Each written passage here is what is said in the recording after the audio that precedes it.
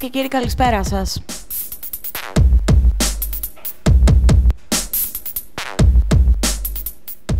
Ιωάννα Ντάνη στο μικρόφωνο, 6 Ντάνη εκπομπή.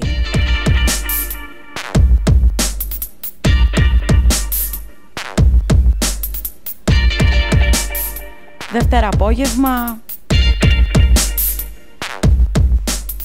με κρίσιμες ειδήσεις.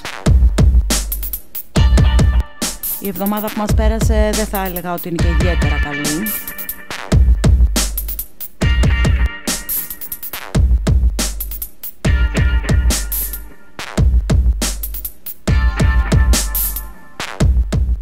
Προβληματιζόμαστε όλοι για το που πάει η κατάσταση με την οικονομία.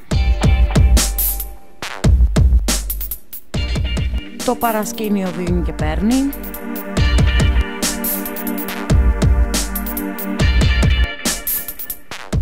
Και όπως λέει και μια ψυχή έπεσε πολύ αλάτι στις πληγές της οικονομίας. Και πολύ πιπέρι στα στόματα αυτών που έριξαν το αλάτι στις πληγές.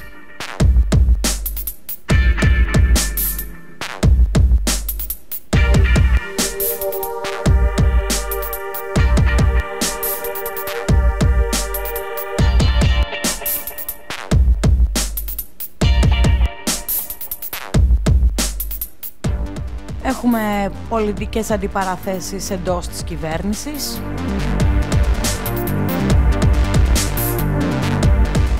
Προβλήματα στη Νέα Δημοκρατία.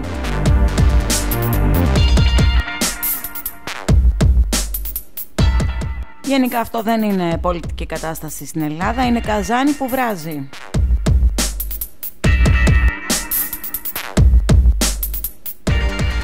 Τώρα τι σούπα θα βγει από όλη αυτή την ιστορία και αν θα τρώγεται τελικά κανείς δεν μπορεί να καταλάβει.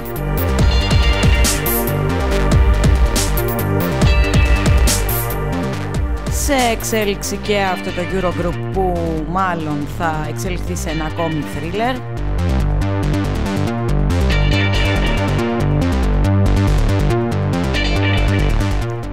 Τρώγονται οι Ευρωπαίοι, τρώγεται το ΣΥΡΙΖΑ, και οι Έλληνες κάθονται με το στόμα ανοιχτό, αποσβολωμένοι, αναρωτώμενοι ποια θα είναι η τύχη τους.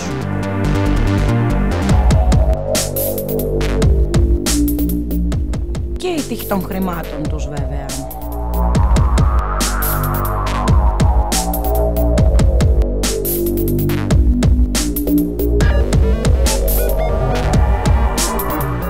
Είδαμε και πράγματα που δεν τα είχαμε ξαναδεί, αλήθεια είναι.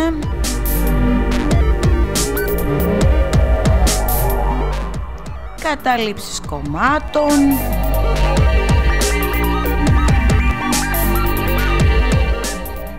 Αιτήματα να βγουν οι τρομοκράτες έξω.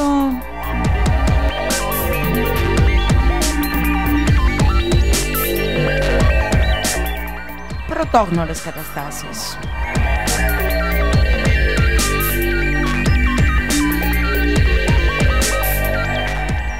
Πάμε να ξεκινήσουμε και να δούμε ποια είναι τα τελευταία νέα από το Eurogroup.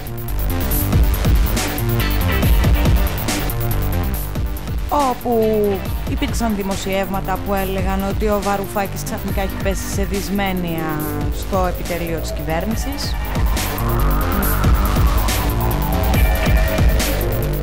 Ότι πλέον των ε, διαπραγματεύσεων με την Ευρωπαϊκή Ένωση ηγείται ο Δραγασάκης και ουχή ο Βαρουφάκης.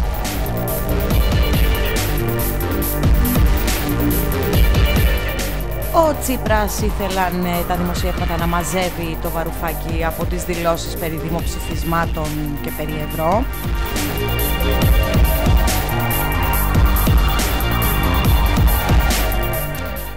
Έγιναν προσπάθειες να μαζευτούν τα αμάζευτα.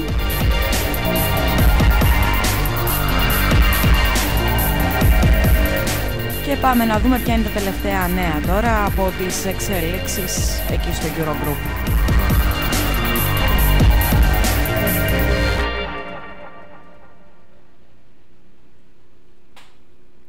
Πάμε να δούμε λοιπόν τι προβλέπετε και καθώς διαβάζουμε εδώ στο Newsit από τους καλούς συναδελφούς περαίωση, τριγωνικές συναλλαγές και λοταρία για τις αποδείξεις στα νέα μέτρα που θα παρουσιάσει η Αθήνα.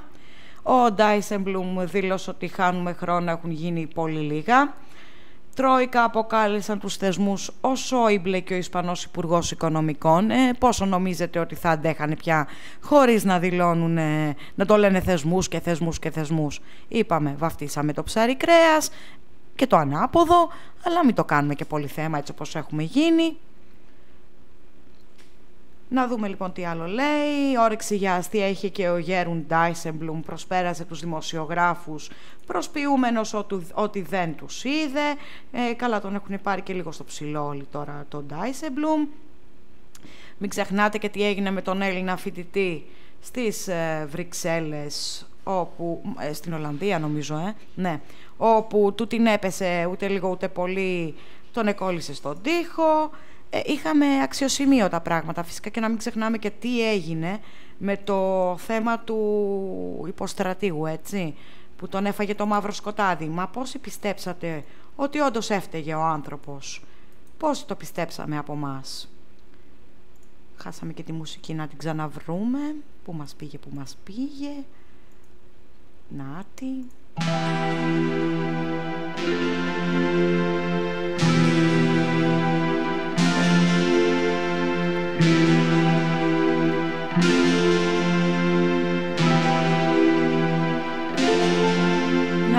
λοιπόν ότι ο Γιούγκερ ε, ζήτησε να γίνει συνάντηση των ε, θεσμών με την Αθήνα στις Βρυξέλλες και ουχή σε ελληνικό έδαφος.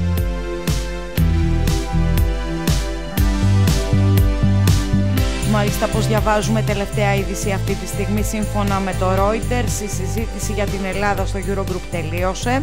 Οι υπουργοί δήλωσαν ότι είναι ώρα να γίνει πρόεδρος, σύμφωνα με κοινοτικό αξιωματούχο που φέρεται να είναι η πηγή. Δεν θα εκδοθεί κοινό ανακοινωθέν για την Ελλάδα, όπως ανέφερε η ίδια πηγή.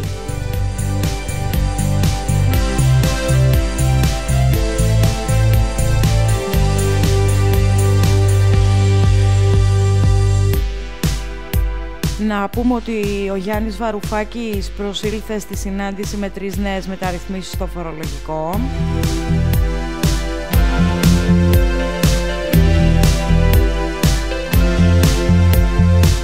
Και όπως σας είπα είχαν ήδη κυκλοφορήσει οι φήμες ότι τελικά της συζήτησης και του, της αποστολής της ελληνικής θα ηγείται ο Γιάννης Δραγασάκης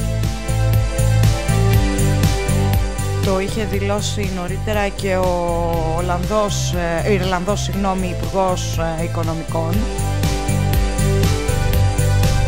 Αλλά κάτι τέτοιο διαψεύθηκε από την Αθήνα. Επικεφαλής των διαπραγματεύσεων παραμένει ο Γιάννης Βαρουφάκης.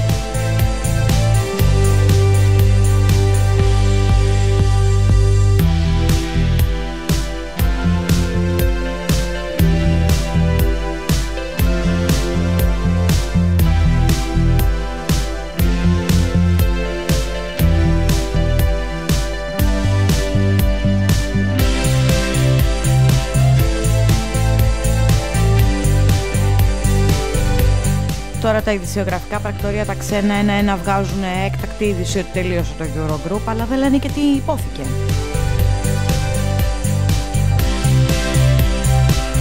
Το μόνο που έχουν ανακοινώσει είναι ότι δεν θα γίνουν ε, κοινές δηλώσεις και δεν θα βγει και ανακοινωθέν.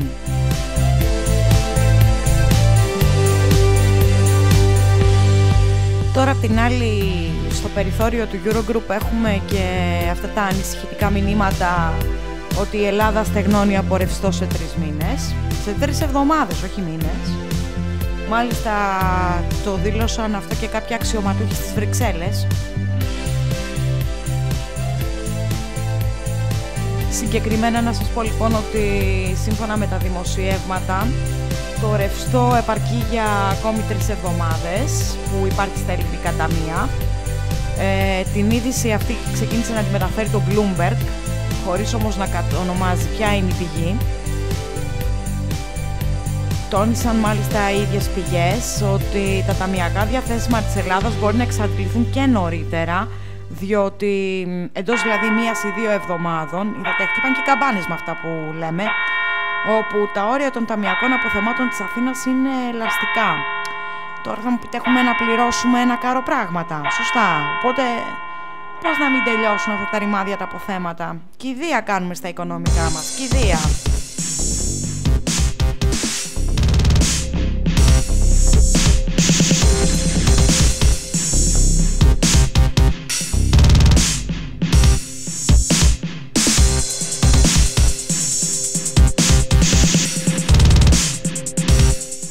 Να σας πω και το άλλο, ότι η κυβέρνηση έχει αποτύχει λίγο στις δηλώσεις της το τελευταίο διάστημα.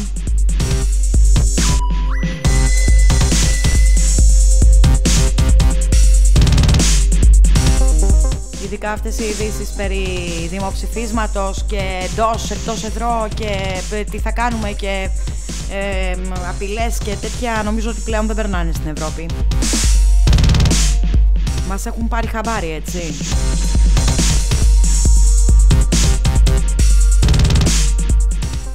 Και όχι μας έχουν πάρει χαμπάρι, μας έχουν πάρει και στο ψηλό.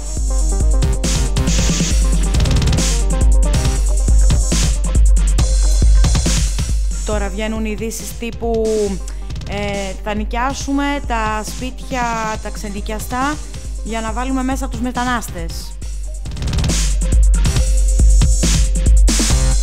Αν δείτε τι έχει γίνει με αυτή τη δήλωση στο facebook θα τρομάξετε.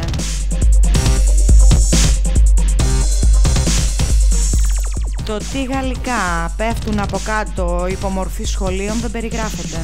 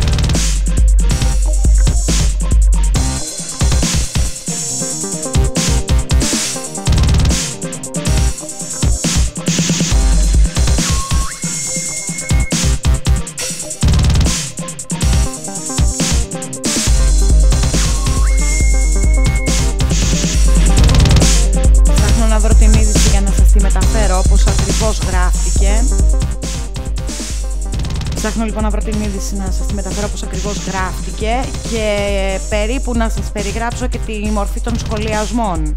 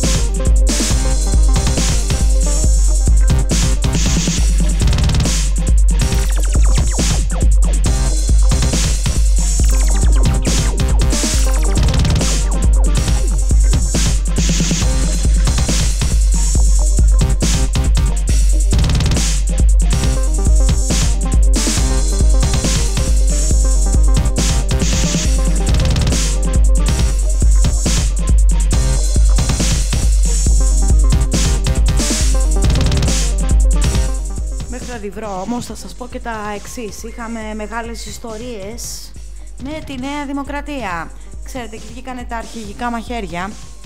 Κάτι λίγο τώρα, κάτι λίγο Γεράσιμος Γιακουμάτος, κάτι λίγο Καγκελάριος, ξέρετε ποιος, Αβραμόπουλος Δημήτρης, ενοχλημένος. Βγήκε ο Σαμαράς, είπε τελείωσε το θέμα της αρχηγίας, βγήκαν οι υπόλοιποι κεφαλικό. Τώρα, όχι παιδιά, εγώ θέλω να πάμε σε έκτακτο συνέδριο. Θέλω να βάλω υποψηφίο ανταγερχικό.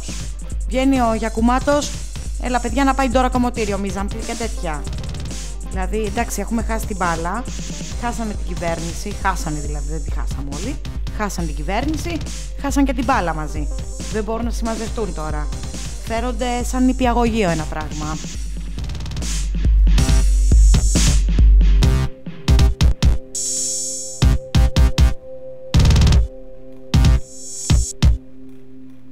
Να σας πω και το άλλο το φανταστικό. Βγήκε ο Καμένος και δήλωσε ότι ο Άκης ο Τσοχατζόπουλος είναι μέσα για τροχαία παράβαση σε σχέση με αυτά που έχει ανακαλύψει στο Υπουργείο. Ναι, τα μάθαμε κι αυτά. Έχει λήξει σκονίσει όλο το Υπουργείο Άμυνας. Έχει βρει μέσα τα τέρατα.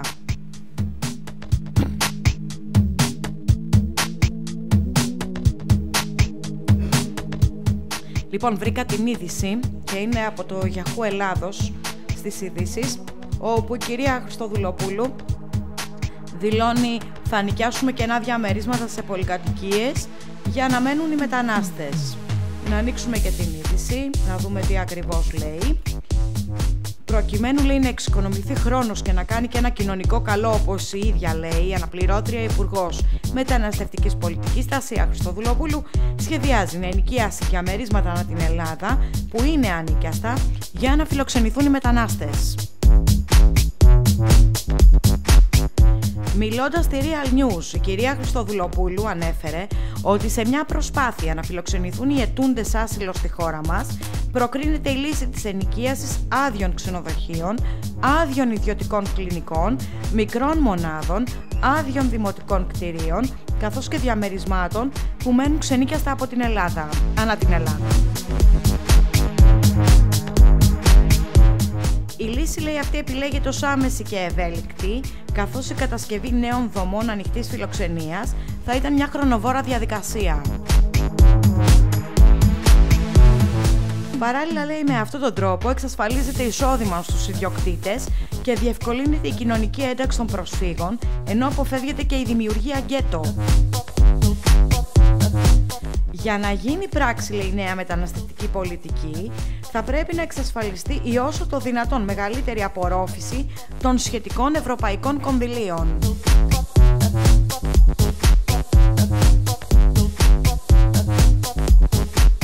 Ερώτημα πρώτο. Ποιος ιδιοκτήτης θα νοικιάσει το διαμέρισμά του για να μείνουν μέσα μετανάστες οι οποίοι δεν θα πληρώνουν εκείνη το ενίκιο, θα το πληρώνει η κυβέρνηση προφανώς.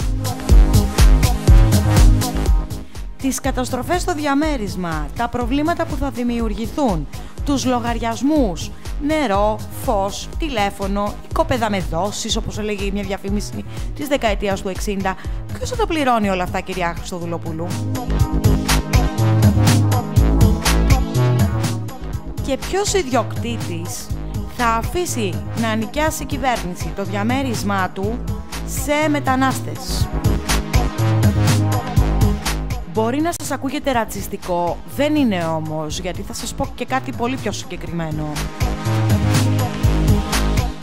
Για σκεφτείτε πως οι Έλληνες είναι άστεγοι, ξυπόλυτοι και γυμνοί στους δρόμους Για αυτούς καμία μέρη να. Αντί να νοικιάσετε όλους αυτούς τους χώρους και να βάλετε μέσα τους ταλέπορους Έλληνες που είναι στους δρόμους γιατί εκεί τους έριξε η καταραμένη μοίρα και η καταραμένη ελληνική οικονομία θα βάλουμε μέσα τους μετανάστες που εσείς τους βγάλατε από τους χώρους φιλοξενίας που είχε θεσπίσει το ελληνικό δημόσιο. Εγώ δεν είπα να τους αφήσετε στο δρόμο. Αφήνεται όμως στο δρόμο Έλληνες που τόσα χρόνια είναι στους δρόμους που δεν έχουν ένα κεραμίδι πάνω από το κεφάλι τους που ολόκληρες οικογένειες μένουν σε αυτοκίνητα γιατί δεν μπορούν να πληρώσουν ενίκιο.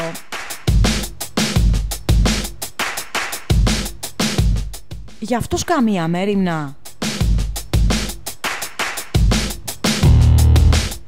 Δηλαδή για να ενδιαφερθεί το ελληνικό κράτος για αυτούς πρέπει να πάρουν άλλο διαβατήριο, να αλλάξουν ταυτότητα. Τι;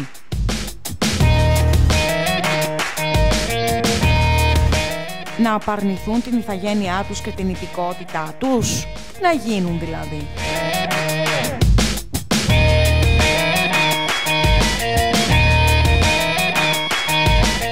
Να σας πω το έχουμε χάσει λιγάκι ή μου φαίνεται τώρα.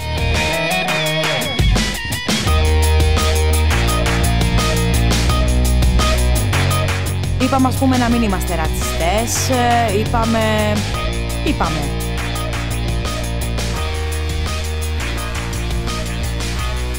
Να μην είμαστε ρατσιστές, να προστρέχουμε για τον πλησίον, έστω και αν αυτός είναι άλλης ηθαγένειας, κότητας, δεν ξέρω και εγώ τι. Αλλά ξέρετε άλλη χώρα που αντί να κοιτάει πρώτα τους δικούς της, κοιτάει τους άλλους. Εδώ κοντεύουμε να σπάσουμε κάθε ρεκόρ πια. Και συγχωρέστε με που θα το πω, αλλά σπάμε κάθε ρεκόρ βλακείας. Προσωπική άποψη και όποιος θέλει να μου ξαναμιλήσει.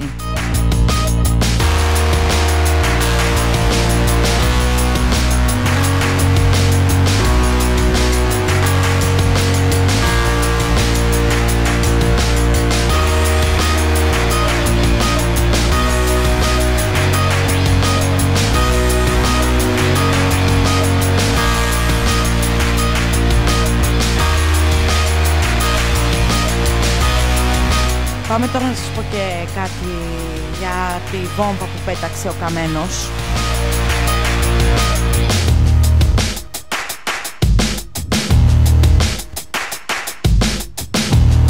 Διαβάζουμε λοιπόν στο freepen.gr βόμβα Καμένου, ο Άκης είναι μέσα για τροχαία παράβαση σε σχέση με όσα έχουν κάνει άλλοι.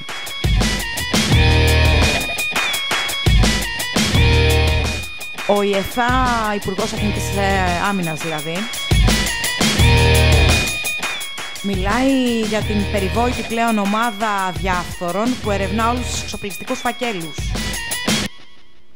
Αποκαλύπτει πώς δημιουργήθηκε εντός 10 λεπτών και γιατί τους έδωσε τα κλειδιά του γραφείου του.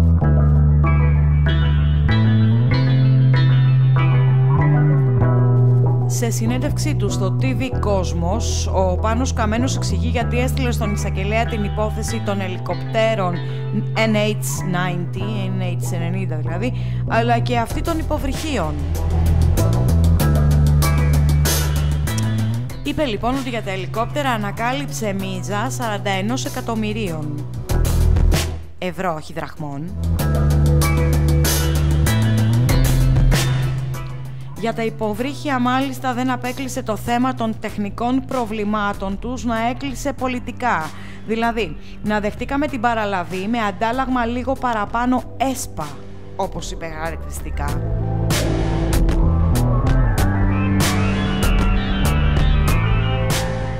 Φανταστείτε δηλαδή πως οι άλλοι θα έπρεπε να είναι μαζί με τον Άκη στο ίδιο κελί.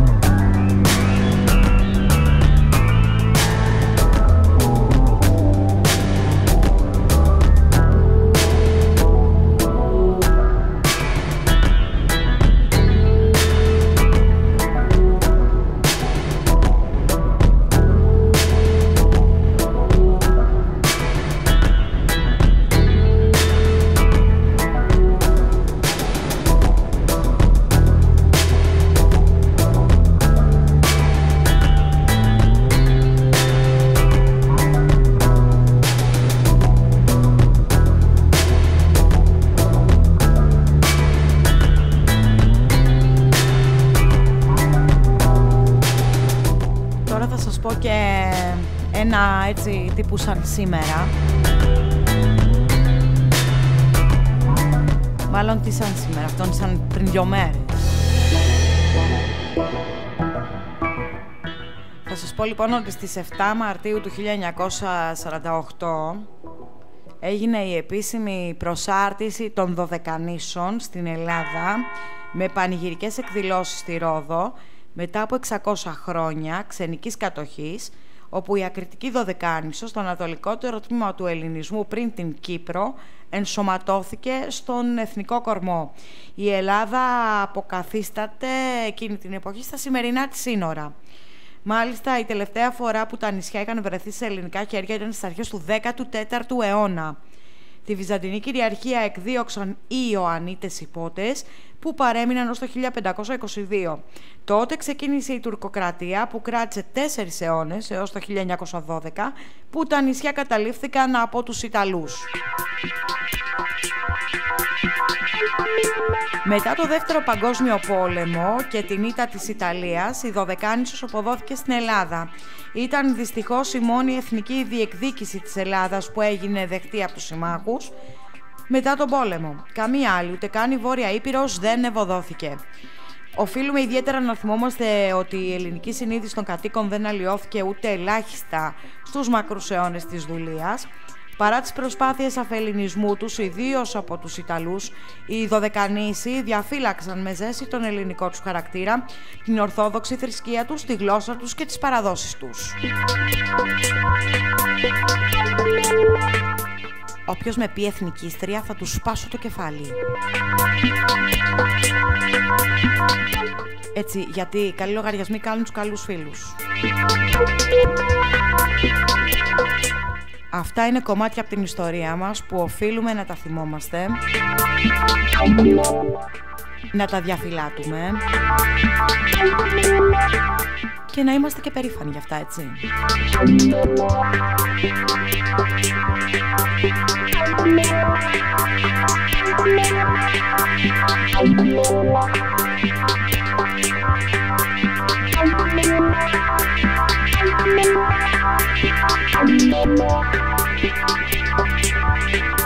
Πάμε τώρα να διαβάσουμε και μια είδηση που έβγαλε πριν από λίγο από το Υπουργείο Προστασίας Δημόσιας Τάξης και Προστασίας του Πολίτη, καλή συνάδελφος.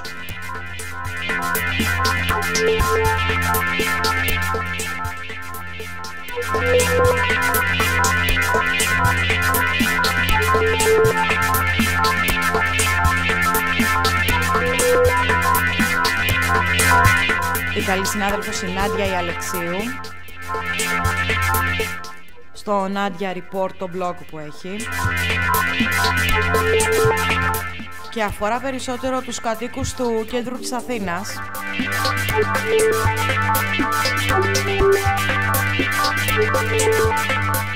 καθώς ε, σήμερα υπήρξε μια κοινή συνάντηση Καμίνη Πανούσου για τα προβλήματα του κέντρου όπου ο κύριος Καμίνης ε, ζήτησε ούτε λίγο ούτε πολύ να μην επιτραπεί να γυρίσει η Αθήνα στο κέντρο μάλλον, στην κατάσταση που ήταν ε, πριν από δυόμιση χρόνια.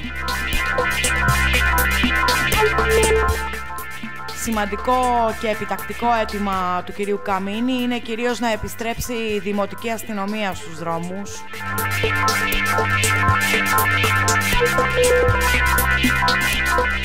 καθώς μετά την απελευθέρωση των λαθρομεταναστών από τα κέντρα κράτησης η κατάσταση όπως διαμορφώνεται στο κέντρο αρχίζει να ξεφεύγει από κάθε έλεγχο.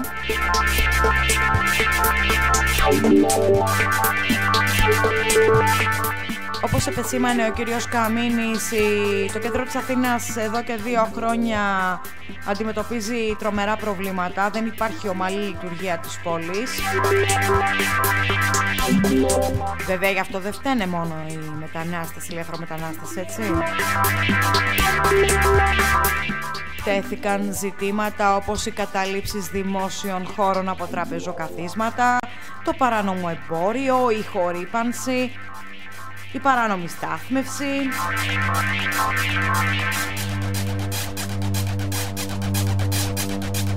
Ούτε λίγο ούτε πολύ ο κύριος Καμίνης ε, ζήτησε από τον κύριο Πανούση την άμεση επιστροφή της Δημοτικής Αστυνομίας.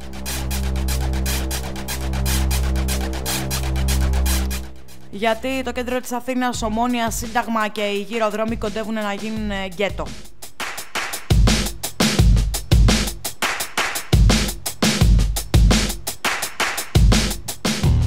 Βλέπετε τώρα πώς όλα είναι αλληλένδετα. Ανοίξανε τα κέντρα κράτησης για να κράτησης, φιλοξενίας ας το πούμε. Για να μην θίγονται και κάποιοι. Άνοιξαν λοιπόν αυτά τα κέντρα, βγήκαν οι λαθρομετανάστες έξω γιατί όπως και να το κάνουμε και όσο και αν κάποιοι τσιτώνετε που τα ακούτε, οι λαθρομετανάστες είναι έτσι, δεν έχουν άδεια παραμονής, δεν έχουν σταθερό τόπο κατοικίας, δεν έχουν κανένα έγγραφο που να τους νομιμοποιεί, να νομιμοποιεί την παραμονή τους στη χώρα. Τώρα θα μου πείτε, OK, okay, κάποιοι από αυτούς είναι αιτούντες πολιτικό άσυλο. Αλλά πόσοι είναι πια, γιατί έτσι όπως μας τα λένε είναι σαν να άδειασε η Συρία ή η Λιβύη και να μεταφέρθηκαν όλοι στην Αθήνα.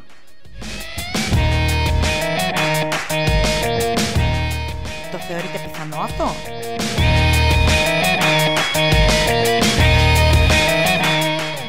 Από όσο ξέρω πάντως το Πακιστάν σε εμπόλεμη κατάσταση δεν είναι. OK, okay, ψάχνω για μια καλύτερη ζωή, άντε να μην τα ισοπεδώσουμε όλα.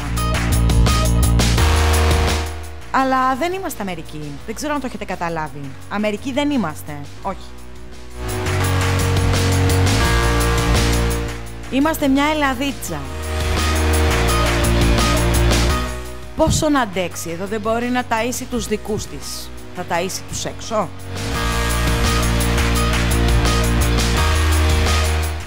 Και άντε καλά, δεν μπορεί να τους διώξει. Είμαστε και φιλές πλαχνοί. Τι θα τους κάνουμε μπορεί να μου πει κάποιος;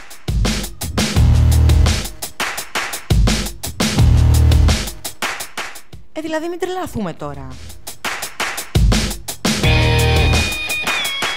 Το θέμα δεν είναι αν είμαστε άσπλαχνοι ρατσιστές.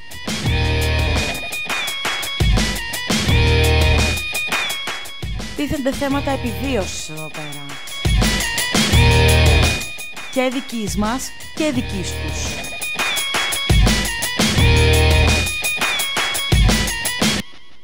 Αλλά φαίνεται ότι αυτό δεν το καταλαβαίνουν κάποιοι. Έχουμε σοβαρά προβλήματα ως προς αυτό. Έχουμε μπερδέψει το ρατσισμό και την ξενοφοβία με αντικειμενικά πράγματα, όπως είναι το ότι δεν μπορούμε να τους απορροφήσουμε. Δεν υπάρχουν δουλειές, δεν υπάρχει χώρος.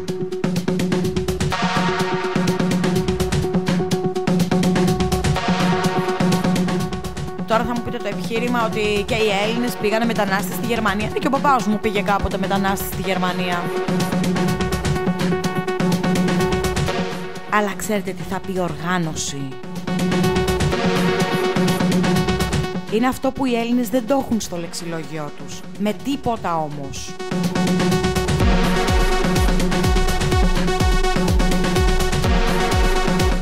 Εκεί ήσουνα. Σπίτι, δουλειά, δουλειά, σπίτι και αν δεν υπήρχε δουλειά και σπίτι δεν έφτανε ούτε καν στα σύνορα της χώρας.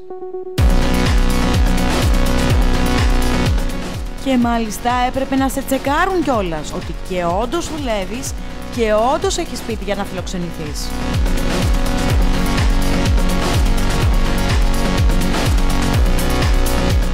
Και δεν μπορούσες να φύγεις και εκτός της πόλης που δούλευες. Όχι με τίποτα.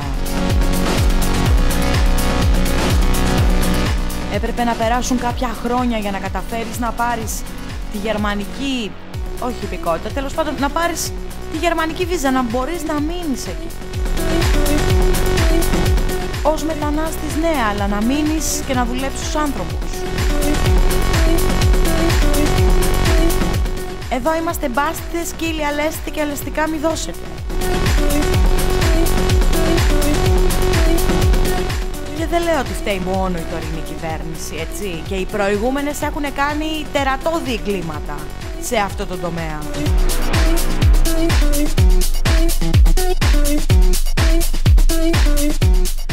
Τα ίδια προβλήματα αντιμετωπίζουν και οι Ιταλοί, μόνο που οι Ιταλοί ήταν, να το πω πιο έξυπνοι λίγο, ναι. Έχουν μια λαμπετούζα, τους πετάνε όλους εκεί πάνω. Ή δεν τους αφήνουν να πλησιάσουν. Και τους στέλνουν πίσω. Πείτε πάλι ότι είναι απάνθρωπο και πνίγονται και κάνουν και ράνουν.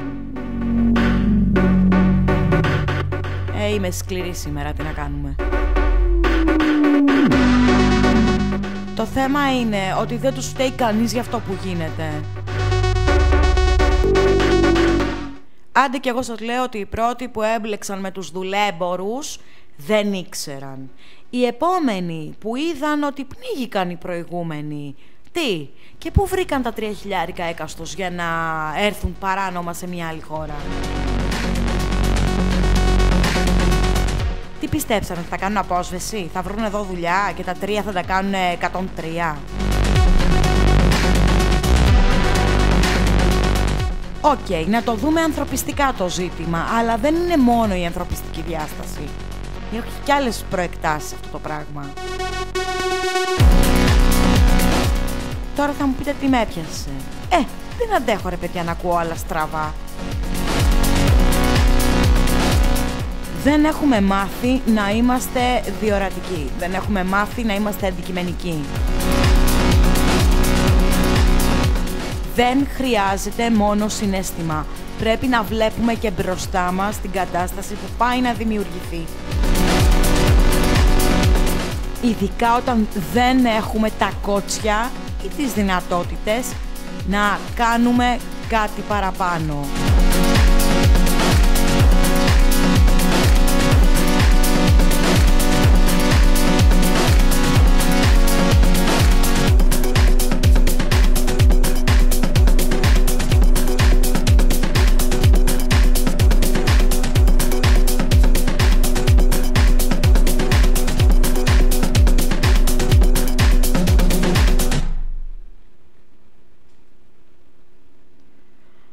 Ναι, έχω μια πικροχολιά σήμερα, είναι αλήθεια αυτό, αλλά νομίζω ότι κάποια στιγμή πρέπει έτσι να ακούμε και αλήθειες.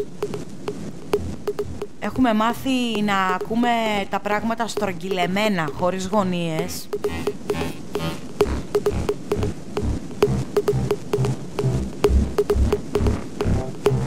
Αυτό δεν μας κάνει καλό, ποτέ δεν μας έκανε. Και θα σας πω και από προσωπική πείρα ότι όσες φορές άκουγα την αλήθεια στρογγυλοποιημένη και δεν την άκουγα καθαρή Ξαφνικά βρισκόμουν πάντα σε πολύ δύσκολη θέση.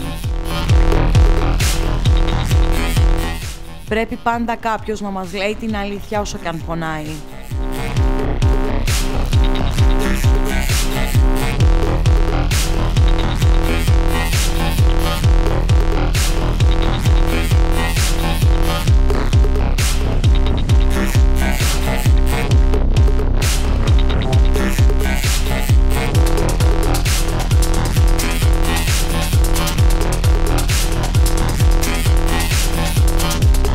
Ας επιστρέψουμε λίγο στο Eurogroup.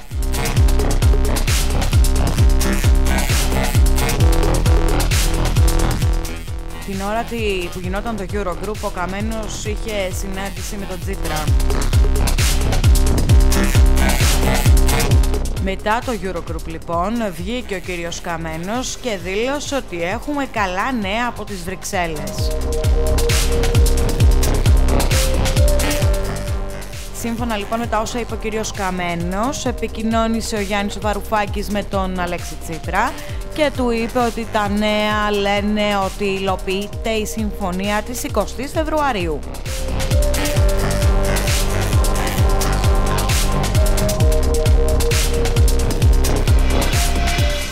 Μάλιστα την Τετάρτη λέει θα συναντηθούν τα τεχνικά κλιμάκια για να οριοθετήσουν την υλοποίηση αυτής της συμφωνίας.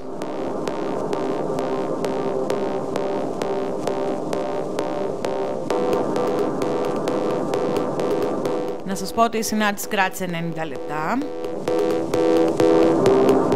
Δηλαδή ψιλοξεπέτα για τα δικά τους τα δεδομένα. Τώρα δεν ξέρω αν αυτό είναι καλό ή κακό. Θα δείξει πορεία.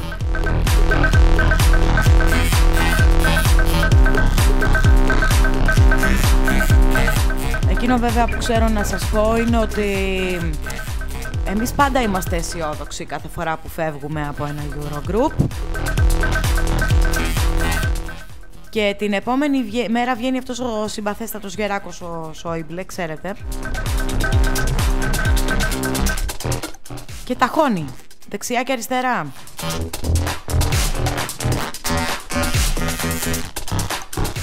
Ε, ναι, είναι αυτό που λέμε δημιουργική ασάφεια.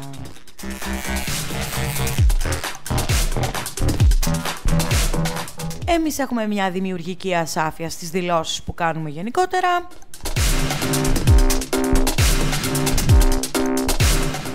Και αυτός είναι εντελώς δημιουργικά σαφής σε αυτά που λέει.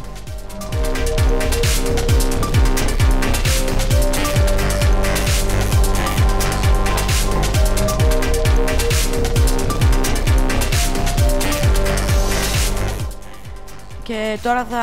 Εγώ λέω να προτείνω έτσι να το αφήσουμε λίγο το Eurogroup. Αρκετά γελάνε οι άλλοι με τον πόνο μας. Αρκετά κλαίμε εμείς με αυτά που ακούμε.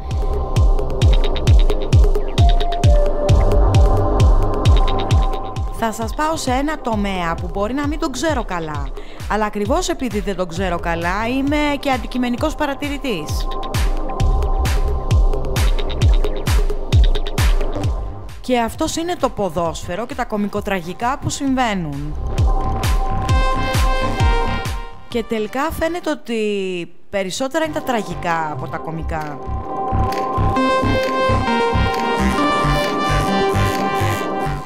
Ως λοιπόν εξωτερικός παρατηρητής που δεν έχω και μεγάλη επαφή με αυτά παρά μόνο με το αστυνομικό κομμάτι, θα σας πω ότι είχα την εντύπωση τα τελευταία τέσσερα χρόνια ότι είχαν ηρεμήσει τα πράγματα. Ξαφνικά λοιπόν διαπιστώνω, με τα λύπης μου, ότι πάλι έχουμε μία έξαρση εξαγριωμένων οπαδών, οι οποίοι ό,τι βρουν στο δρόμο τους, το καταστρέφουν. Στέλνουν ανθρώπους στα νοσοκομεία, έτσι, στέλνουν ανθρώπους στα νεκροτομεία, καταστρέφουν γήπεδα.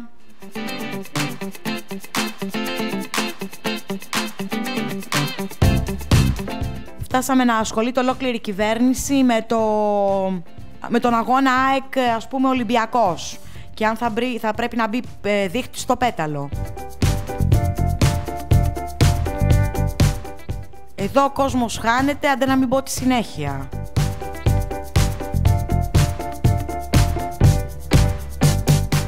Και κάνω εγώ μια ερώτηση τώρα το Σαββατοκύριακο άσχετη και ρωτάω τι θα γίνει εάν η Ελλάδα για πέντε χρόνια δεν έχει ποδόσφαιρο. Και η απάντηση είναι «Τι λες παιδί μου, καταστραφήκαμε». Εδώ έχουν κλειστεί συμφωνίες, έχουν εισπραχθεί εκατομμύρια. Το ελληνικό ποδόσφαιρο έχει μετοχές στην UEFA, τη λέω καλά, μάλλον. Μιλάμε για επένδυση δισεκατομμυρίων. Δεν είναι έτσι αυτά, έχουν και συμβόλαια. Και λέω ωραία. OK, okay, αποφασίζουμε τους αγώνες κεκλεισμένων των θυρών. Να μην σφάζονται μέσα στο γήπεδο. Έλα που σφάζονται απ' έξω. Το πρόβλημά μας δηλαδή είναι να μην χαλάει το γήπεδο μέσα.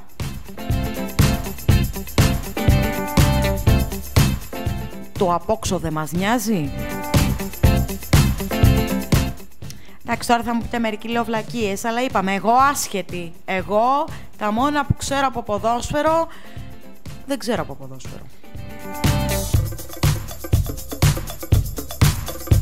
Ένα γιούρο ήξερα, εκείνες τις μέρες κάτι έμαθα. Όχι ότι αναγνώριζα φάσεις, αναγκαστικά λόγω επαγγέλματος με βγάζαν έξω, μου λέγανε κάνε κανένα γκάλωπ με τους Έλληνες φιλάθλους, τι θα γίνει τον αγώνα απόψε. Αλλά μέχρι εκεί μη φανταστείτε. Αλλά έτσι απορία το έχω δηλαδή. Έχω έχω συνεχώς την, την αίσθηση έτσι ότι με το ποδόσφαιρο, εκτός από ολίγους που ξέρουν τι τους γίνεται, που είναι συνειδητοποιημένοι, που έτσι υποστηρίζουν μια ομάδα normal, φυσιολογικά, έστω που έχουν μια αγάπη παραπάνω και ασχολούνται με τα της ομάδας, με τα αγωνιστικά της, με τις αποδόσεις της, με τα οικονομικά της.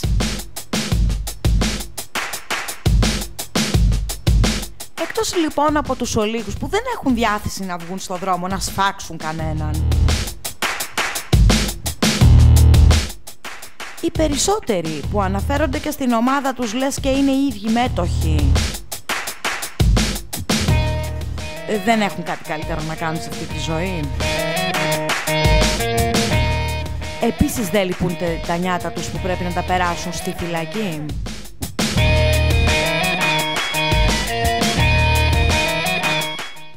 Τελικά δεν μπορώ να καταλάβω πόσο ανεγκέφαλοι μπορεί να είναι ορισμένοι.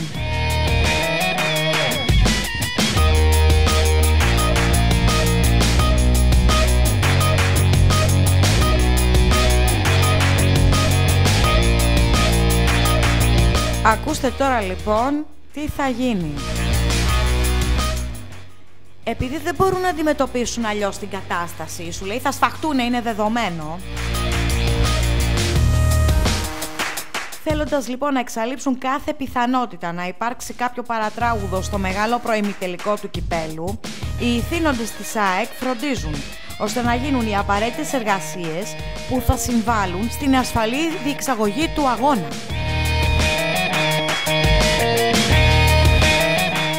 Ακούτε εδώ καραγκιοζηλίκια τώρα. Μπροστά από τις θύρες 1 και 35 ή 1 ως 35 μάλλον, στο πέταλο δηλαδή, που βρίσκεται προς την πλευρά του σταθμού Ειρήνη και κάθονται οι οργανωμένοι της ΑΕΚ, θα τοποθετηθεί προστατευτικό δίκτυ.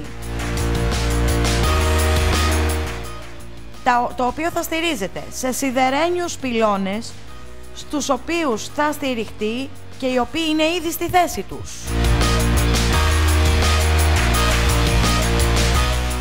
Το ΆΚΑ λέει θα θυμίζει φρούριο από το μεσημέρι της Τρίτης. Στη μία λέει τώρα, αποφασίστηκε το μεσημέρι έτσι, αποφασίστηκε να κλείσουν οι πόρτες του ΟΑΚΑ και να μην υπάρχει ελεύθερη πρόσβαση για κανέναν πλην όσων έχουν εργασίες στο γήπεδο είτε είναι υπάλληλοι της ΠαΕΑΕ. Επιπλέον, την ημέρα του αγώνα στο γήπεδο θα βρίσκονται περισσότεροι από 600 άνδρες ιδιωτικής ασφάλειας, ενώ σχετικά με τις αστυνομικές δυνάμεις, ο αριθμός των ενστόλων θα ξεπερνάει τις 3.000, εκ των οποίων οι 22 θα είναι δημιουργίες των ΜΑΤ. 22 δημιουργίες των ΜΑΤ. και ταυτόχρονα θα υπάρχουν αρκετοί του τμήματος ασφαλείας, ενώ όπως είναι γνωστό στο ΟΑΚΑ θα βρίσκονται και τρεις εισαγγελείς. Αλλά και σχεδόν σύσσωμο το δυναμικό του τμήματος της αθλητικής βίας. Θα δημιουργηθούν τρεις ζώνες ελέγχου εισιτηρίων, ενώ όσοι δεν έχουν στην κατοχή τους το μαγικό χαρτάκι, θα είναι αδύνατο να προσεγγίσουν το ΟΑΚΑ. Σας πάω στοίχημα από τώρα. Και κροτίδες θα περάσουν, και κέρματα θα περάσουν, και μπουκάλια θα περάσουν, και χαμός θα γίνει. Δεν πάνε να κατεβάσουν το στρατό. Όπως τα περνάνε πάντα, θα τα περάσουν και τώρα. Και όπως φάζονται πάντα, θα σφαχτούν και πάλι.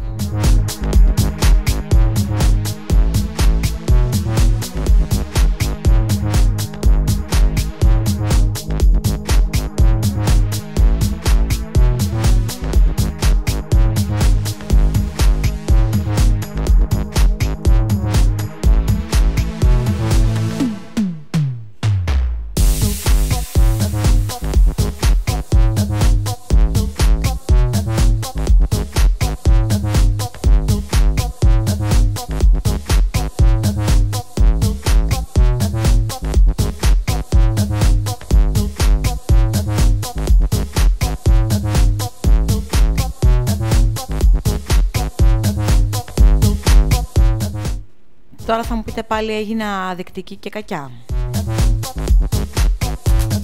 Είναι η μέρα σήμερα, θα το υποστείτε. Συγγνώμη, αλλά όταν μιλάω για βλακώδη θέματα, εξανίσταμε, τι να πω. Παιδιά, ποδόσφαιρο είναι. Δεν ξέρω. Ε, κανείς δεν το τοποθετεί στη σωστή του διάστασης. Όχι. Μαχαίρια, λοστάρια.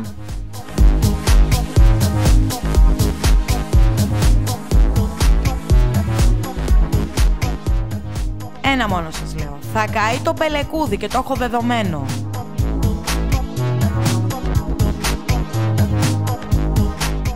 Αλλά αυτό είναι. Εμείς δεν έχουμε τα κότσια των Βρετανών, όχι. Εκείνοι ήταν χαζοί, βλέπετε. Που τόσα χρόνια είχαν τα γήπεδά τους κλειστά και παίζαν οι ομάδες χωρίς φιλάθλου. Αυτοί ήταν οι λύθοι που βάζαν τις ομάδες να πληρώνουν για κάθε ζημιά. Είδατε όμως πως έστρωσαν οι Βρετανοί φίλαθλοι. Παναγίες στο γήπεδο τώρα, Παναγίες και τα γήπεδά τους με θέσεις πούλμαν. Για τόλμα εκεί μέσα να κάνεις κάτι, σε παίρνει.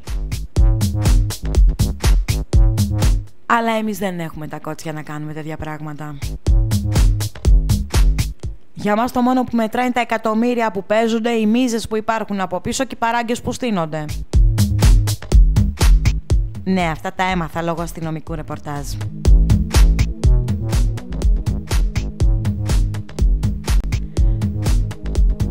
Τέλος πάντων για να αφήσουμε και τα αθλητικά γιατί και αυτό είναι τζιζ θέμα. Θα σας πω ότι βρε, είχαμε παρέμβαση βρε. Για το Eurogroup βρε. Και ποιος παρενέβη; Γλέζος παρακαλώ, Γλέζος. Ο οποίος ε, λαμβάνοντας το λόγο επί διαδικαστικού πριν την, την έναρξη της ε, Συνόδου της Ολομέλειας του Ευρωκοινοβουλίου, λέμε τώρα, ο Ευρωβουλευτής του ΣΥΡΙΖΑ Μανώλης Γλέζος υπενθύμησε στους Ευρωβουλευτές ότι ο ελληνικός λαός έχει ήδη εκλέξει μια νέα κυβέρνηση, άιτε καλέ δεν το πήραμε χαμπάρι, και παρατήρησε ότι οι δανειστές της Ελλάδας επιδιώκουν το στραγγαλισμό της. Ε, τώρα σε αυτό το σημείο ε, θα σας πω ένα σενάριο. Φανταστείτε λοιπόν ε, μια κυβέρνηση να θέλει να ξεφύγει από ένα κλειό στον οποίο έμπλεξε μόνη της γιατί υπερεκτίμησε τις δυνατότητες της και επειδή δεν μπορεί να κάνει και ακριβώς πίσω αποφασίζει να αρχίσει να δημιουργεί ένα κλίμα.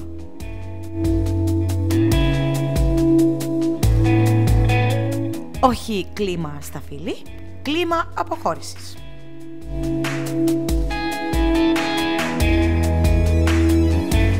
Ξεκινάμε λοιπόν ε, λέγοντας για δημοψηφίσματα, απειλώντας ότι θα πάμε σε πρόορες εκλογές αν η Ευρώπη δεν μας κάνει τα χατήρια.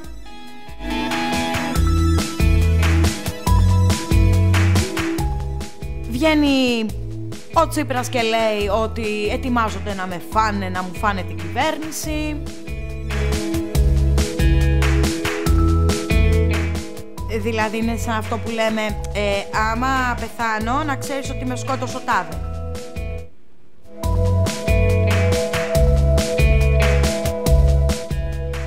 Ε, δείτε το κάτι σαν πολιτική διαθήκη ας πούμε, ναι. Εγώ από φωνών δηλώνω ότι δεν πέθανα από μόνος μου, με φάγαν κάποιοι άλλοι.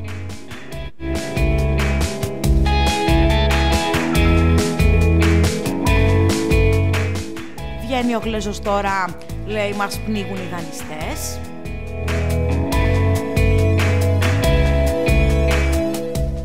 Εμένα μου μυρίζει έτσι μια προσπάθεια να βρούμε μέσα στο λαβύρινθο που είναι η έξοδος κινδύνου καλού κακού.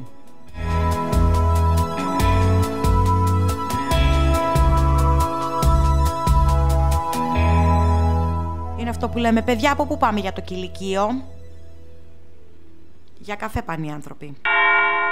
Είδατε; Λέω τέτοια θανατηφόρα. Βάραν και καμπάνες. Ε, τι να κάνω εγώ; Εκείνο που έχει σημασία βέβαια είναι ότι Βγαίνει τώρα και ο Γλέζος, λέει, μας πνίγουν οι δανειστές. Εδώ πριν από λίγο προέκυψε υποτίθεται συμφωνία με το Eurogroup. Ήθελα να ξέρω ποιος θα τους φάει τώρα. Δηλαδή, προκύπτει η συμφωνία με το Eurogroup, οδεύουμε προς την υλοποίηση των μέτρων, ποιον μέτρων ακόμη δεν έχουμε καταλάβει. Χάνω τη φωνή μου από αυτά που λέω.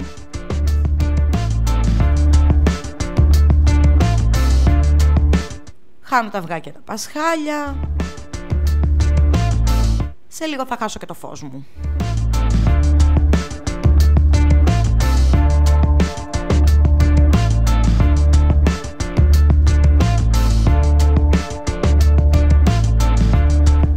Προσέξτε τώρα, μέσα σε όλο αυτό το χαμό του μας ε, κυνηγάνε, μας κατακεραυνώνουνε, μας, ε, μας, θα θέλουν να μας φάνε λάχανο, θέλουν να χάσουμε την κυβέρνηση, θέλουν, θέλουν, θέλουν. Βγαίνει και μια ζωή Κωνσταντοπούλου από το πουθενά. Και επειδή η κοπέλα δεν έχει τι άλλο να κάνει προφανώς, συγγνώμη την είπα και κοπέλα είναι πρόεδρος της Βουλής. Στέλνει λοιπόν επιστολές, όπως προείχε, είχε πει, είχε προαναγγείλει, στους τρεις πρώην προεδ, πρωθυπουργούς, δηλαδή Κωνσταντίνο Μητσοτάκη, ε, Κώστα Σιμίτη και Γιώργο Παπανδρέου, με τις οποίες τους ζητά να αποδεσμεύσουν τα γραφεία που διατηρούν μέσα στη Βουλή.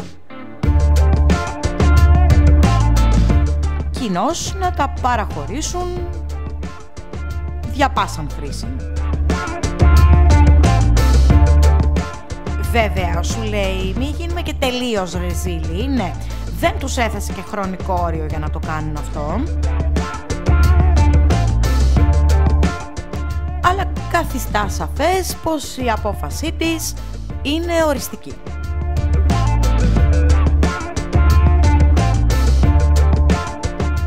Και επειδή σιγά μην έπαιρνε η μπάλα μόνο αυτούς τους τρεις, ανάλογη εντολή έχουν λάβει και οι πρώην πρόεδροι της Βουλής, που σήμερα δεν είναι πλέον βουλευτές, αλλά λόγω του αξιώματός τους διατηρούν τα γραφεία σε άλλα κτίρια εκτός Βουλής, τα οποία όμως πληρώνει η Βουλή από τον προϋπολογισμό της. Οκ. Εγώ θα σας πω ότι κατά το ήμισυ αυτό που πάει να κάνει είναι σωστό. Αλλά μόνο κατά το ίμιση. Ωραία. Αυτοί που έχουν γραφεία όξο από τη Βουλή, ε, ναι να τα αφήσουν. Ναι, έχουν πάρει τέτοιες βουλευτικές αποζημιώσεις που θα μπορούσαν να θρέψουν 100 γενιές. Ναι, θα μπορούσαν να έχουν δικά τους γραφεία. Ναι, θα μπορούσαν να τα έχουν πληρώσει. Και δεν καταλαβαίνω επειδή είναι βουλευτές, γιατί να έχουν και γραφεία στην τελική. Αλλά. Μπαίνει και ένα αλλά εδώ. Το πάρουμε κατά περίπτωση. OK. Okay. Γιώργος Παπανδρέου, Τζους. Νέο παιδί, κρατάν τα κότσια του, πότε πάει στη Βουλή, πότε δεν πάει στη Βουλή. Ναι, μπορεί να έχει ένα δικό του γραφείο έξω από τη Βουλή. Οκ, ναι, φυσικά, δεν θα διαφωνήσω με αυτό. Κώστας Σημίτης, ναι, επίσης κρατάν τα κότσια του. Ε, έχει και τη Δάφνη, έχει και το σπιτάκι του. Έχει κι άλλο γραφείο έξω από τη Βουλή. Εδώ εμφανίζεται σπανίως. Αλλά Κωνσταντίνος Μητσοτάκης. Κάνε λίγο υπομονή βρε πουλάκι μου. Τώρα θα μου πεις με το ρυθμό που πάει. Ο επίτιμος. Δεν το βλέπω σύντομα. Θα δει και άλλη κυβέρνηση. Τώρα θα μου πεις το ψωμί σου τρώει άνθρωπος. Άστον εκεί πέρα μια χαρά είναι. Οκ, ε, το θέμα είναι άλλο. Παιδιά, ιστορία, θεσμός. Μόνο για τους αιώνες του ε δεν τον κουνάς.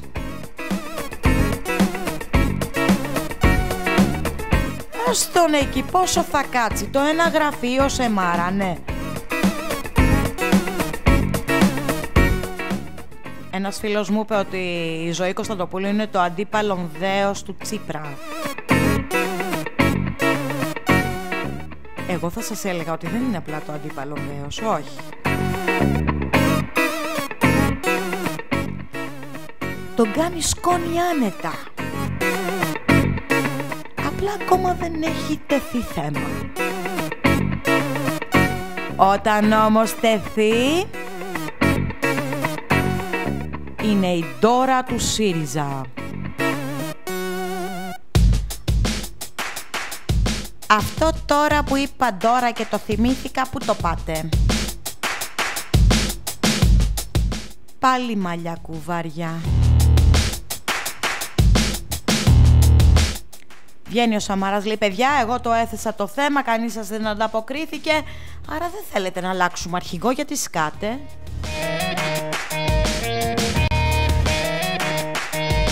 Η βάση ξέρω τι λέει με βρίζει από το πρωί μέχρι το βράδυ, οπότε γιατί να πάμε σε έκτακτο συνέδριο. Δεν, δεν τίθεται θέμα αρχηγού, δεν τίθεται. Τσουπ, πετάγεται η Ντόρα. Και σου λέει, εγώ αρχηγέ θέλω να αλλάξω αρχηγό. Πάει και ο Αβραμόπουλος από πίσω λέει εγώ αρχηγέ παρετούμε γιατί δεν... Ε, κάτι δεν μου κάθεται καλά. Εγώ αντιπρόεδρος δεν θέλω να με. Πάει και ο Γιακουμάτος από πίσω με τη γνωστή έτσι ορολογία που χρησιμοποιεί. Πάει να στηρίξει το δύστιχο του Σαμαρά. Σου λέει bullying του κάνουνε. Ήταν και η Παγκόσμια ημέρα κατά του bullying, του σχολικού βέβαια. Σου λέει αυτοί οι δύο πάνε να κάνουν bullying στον πρόεδρο. Να τα μαζέψουμε. Βγαίνει εκεί, κάνει λόγους για μιζαμπλή, κάνει το να κάνει τ' άλλο. Μαλλιά κουβάρια η Νέα Δημοκρατία.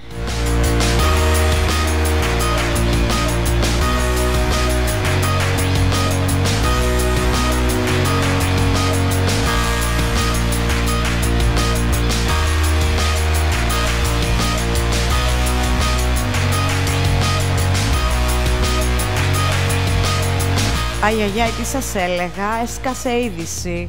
Μπαρούτι λέει ο Σόιμπλε κατά του Βαρουφάκη. Τι είχαμε πει ότι δεν θέλουμε; Δεν είχε ξεκαθαρίσει το Eurogroup το προηγούμενο καμία μονομερής κίνηση από την Ελλάδα. Τι κάναν τα δικά μας τα παλικάρια;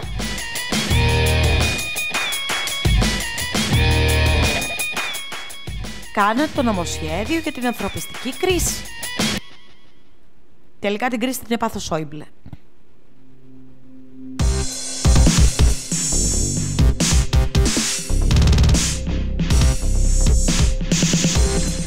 Σύμφωνα λοιπόν με πληροφορίες, έξαλλος με το Γιάννη με έναν Βαρουφάκη και την ελληνική κυβέρνηση φέρεται να είναι ο Wolfgang Schäuble και στο Eurogroup της Δευτέρας δεν έχασε την ευκαιρία να εγκαλέσει τον Έλληνα Υπουργό.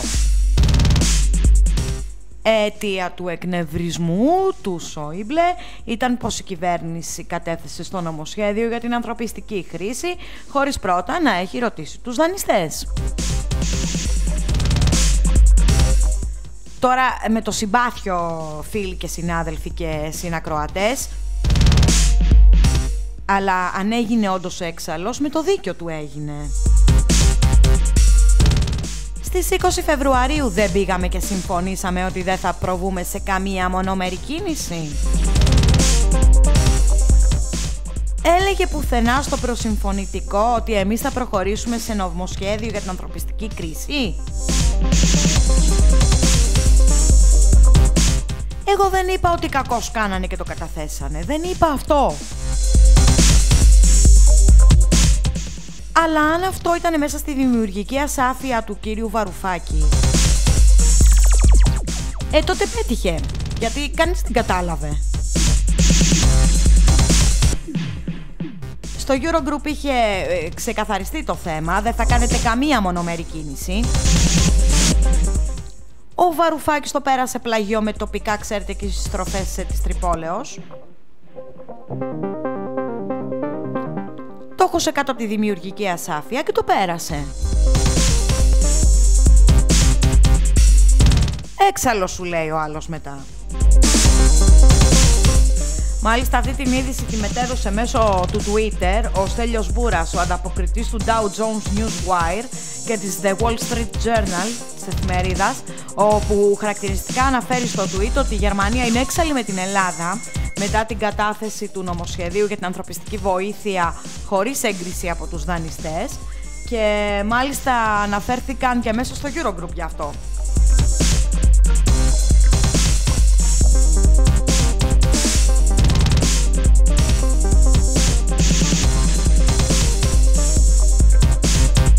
Τώρα προσέξτε να δείτε. Δεν είναι τυχαία κάποια πράγματα. Δηλαδή, αποφασίστηκε η συνάντηση με τους ε, θεσμούς, ναι, να μην γίνει στην Αθήνα, να γίνει στις Βρυξέλλες.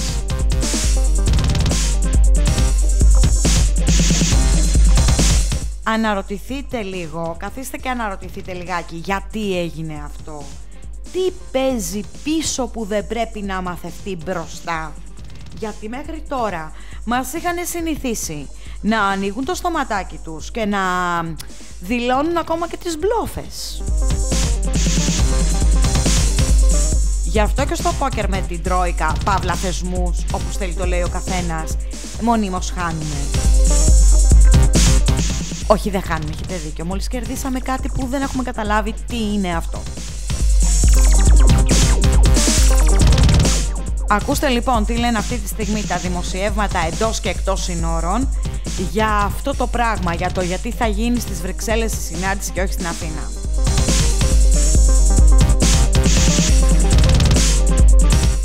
Ξεκινάμε λοιπόν και διαβάζουμε. Πηγές απέκλεισαν το ενδεχόμενο να μεταβούν τα κλιμάκια των θεσμών στην Αθήνα.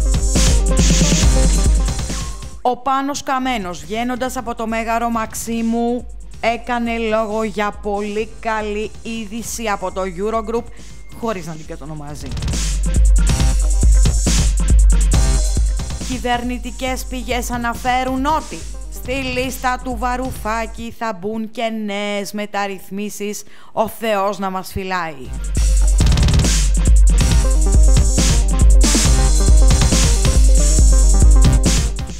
Και τελικά, πάμε πάλι. Πολλοί υπουργοί στο Eurogroup έκαναν λόγο για Τρόικα. Και εμείς κολλημένοι πάλι. Όχι ρε παιδιά, δεν είναι Τρόικα, είναι θεσμοί.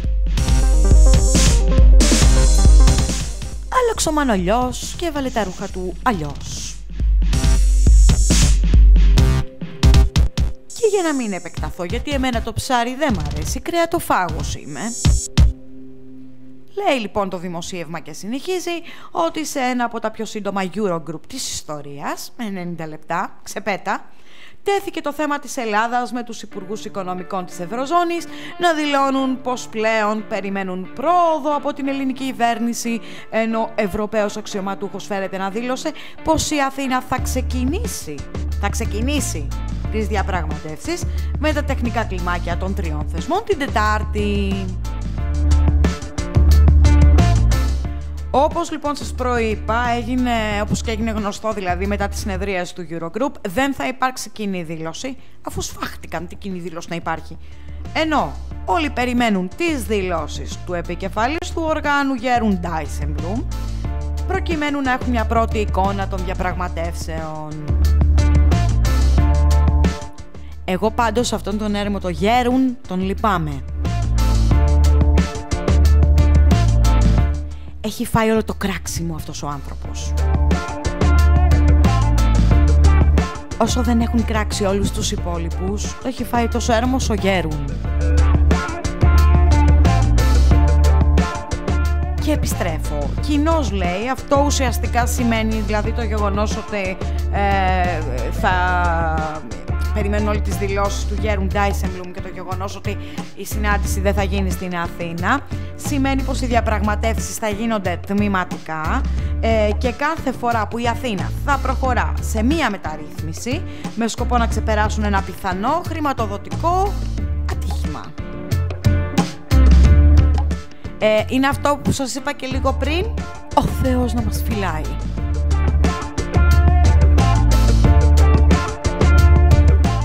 Οι ίδιες πηγές τώρα ανέφεραν ότι η διαδικασία των τεχνικών ε, διαβουλεύσεων ε, ξεκινάει εντατικά, αλλά και τμηματικά.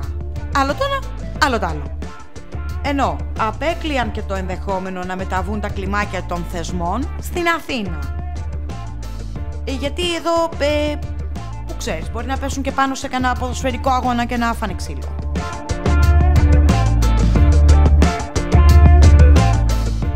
Ε, μάλιστα, οι πηγές ε, σημείωναν ότι το Eurogroup εξέφρασε την βούλησή του να καλύψει τις χρηματοδοτικές ανάγκες της Ελλάδας εάν κριθεί απαραίτητο.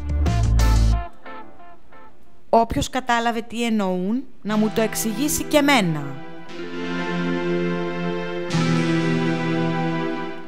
Αυτό δεν κάνει τόσο καιρό. Μπας και είχε διακοπεί και δεν το πήραμε χαμπάρι. Συγγνώμη, τόσα χρόνια δεν μας χρηματοδοτούν, με, με δικά μας λεφτά ζούσαμε.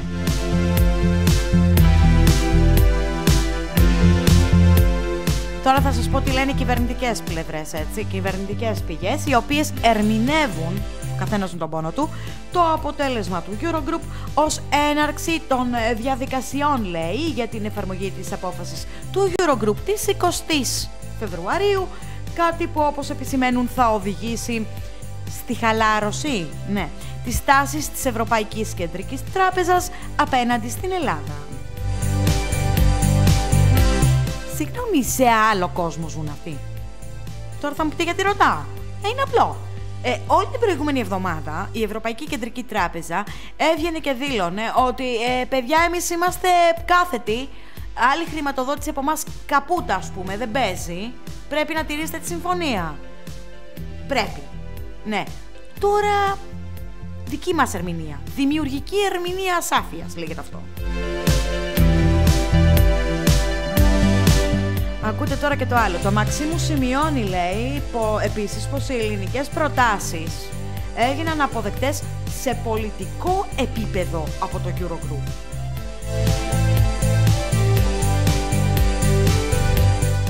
Και τονίζουν και οι τούτοι εδώ πέρα δηλαδή, ότι ναι, με οι θεσμοί, όχι οι τρόικα, οι θεσμοί, δεν θα πατήσουν το πόδι τους στην Αθήνα.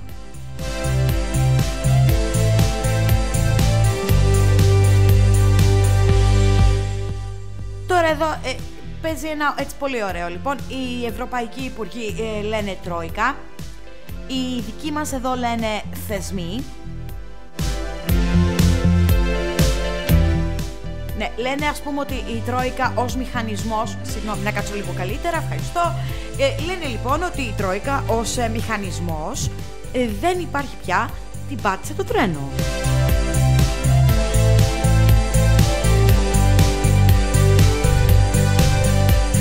Ε, υπάρχουν λέει θεσμοί που είναι ε, λίγο διαφορετικό ε, σύστημα. Να μου εξηγήσει κάποιος ρε παιδιά, συγγνώμη κιόλας δηλαδή. Πείτε με αφελή, πείτε με ηλίθεια. Δηλαδή, η Τρόικα ερχόταν να έλεγχε την πρόοδο, έκανε μία εισήγηση και αναλόγως πορευόμασταν. Οι θεσμοί τι θα κάνουν;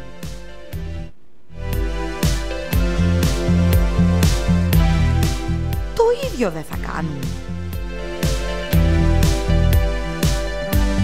Τι μας ενοχλεί η λέξη; Ε, τώρα μην τρελαθούμε τελείως. Θέλουμε ψυχίατρο νομίζω.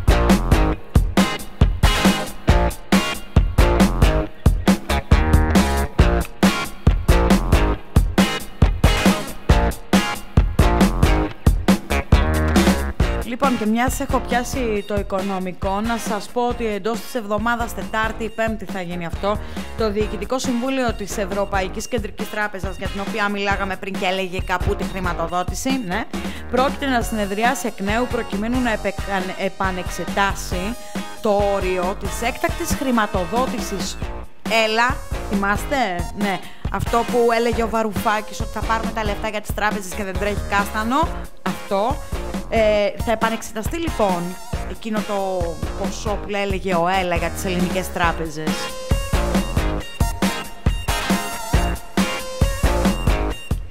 Δεν ξέρω αν έχετε καταλάβει, αλλά έχω την εντύπωση πραγματικά δηλαδή ότι η ελληνική κυβέρνηση ζει σε ένα παραμυθένιο κόσμο. Δικό της. Δημιουργικά ασαφές και δημιουργικά επικίνδυνο.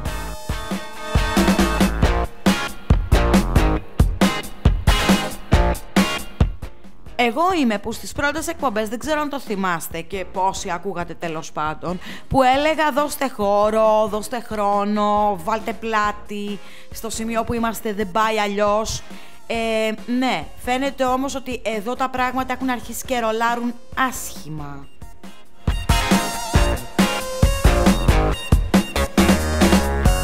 Διαβάζω λοιπόν τη συνέχεια ε, για να καταλάβετε περίπου και το πλαίσιο που κινείται αυτό, αυτός ο μηχανισμός με τον ΕΛΑ και την ΕΚΤ. Λοιπόν, λέει λοιπόν ότι κατά την πάγια τακτική και με ελάχιστες εξαιρέσεις μέχρι σήμερα, το Διοικητικό Συμβούλιο της Ευρωπαϊκής Κεντρικής Τράπεζας ανανέωνε κάθε δύο εβδομάδες στη διάρκεια των ε, προγραμματισμένων συνεδριάσεων, έτσι, την έκτακτη ρευστότητα προς τις ελληνικές τράπεζες. Μάλιστα, την προηγούμενη εβδομάδα, το Διοικητικό Συμβούλιο της Ευρωπαϊκής Κεντρικής Τράπεζας είχε εγκρίνει να χορηγηθεί πρόσθετη ρευστότητα ύψους 500 εκατομμυρίων ευρώ στις ελληνικές τράπεζες μέσω του συγκεκριμένου μηχανισμού του ΕΛΑ. Σύμφωνα όμως με στέλεχος της ΕΚΤ, η απόφαση να γίνει επανεξιολόγηση μέσα σε μια εβδομάδα αντί του 15η μέρου, προσέξτε είναι σημαντικό έτσι, Δηλαδή, ε, δεν περιμένανε. Μέσα σε μια εβδομάδα, μπαμ. Δηλαδή, πήραμε την πρώτη απόφαση, δεν περάσανε πέντε μέρες. Πάμε για άλλα γιατί έχουμε πρόβλημα.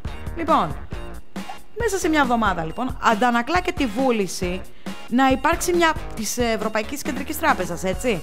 Να υπάρξει μια πιο στενή παρακολούθηση και των πολιτικών και των οικονομικών εξέλιξεων στη χώρα. Διευκρινίζει μάλιστα, διευκρινίζεται ότι ακόμα ότι δεν είναι και γνωστό αν στη διάρκεια της επαναξιολόγησης αυτής η Τράπεζα της Ελλάδος θα αιτηθεί να αυξηθεί περαιτέρω η χρηματοδότηση προς τις ελληνικές τράπεζες. Δεν ξέρω αν ε, μπορείτε να καταλάβετε τι γίνεται.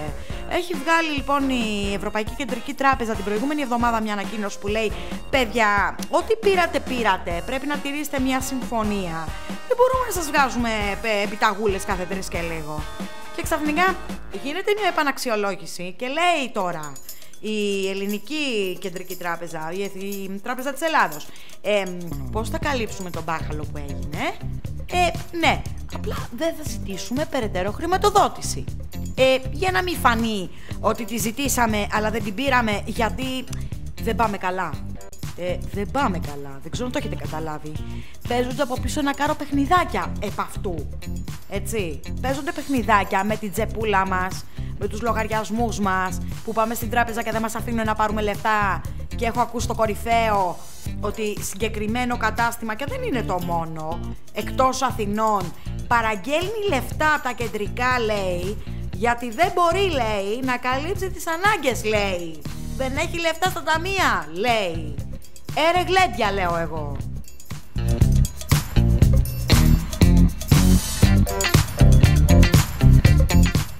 Και αν νομίζετε ότι είμαι υπερβολική, ναι, πηγαίνετε και στηθείτε σε ένα κεντρικό έτσι καταστηματάκι που διακινούνται λεφτά και αρκετά. Να δείτε τι γίνεται. Πάει ο άλλος να ζητήσει 10 χιλιάρικα το λογαριασμό του. Τον κοιτάει τα μία στραβά και του λέει έχω τρία. Σου κάνουν. Τι τρία κυρία μου. Άντε τώρα.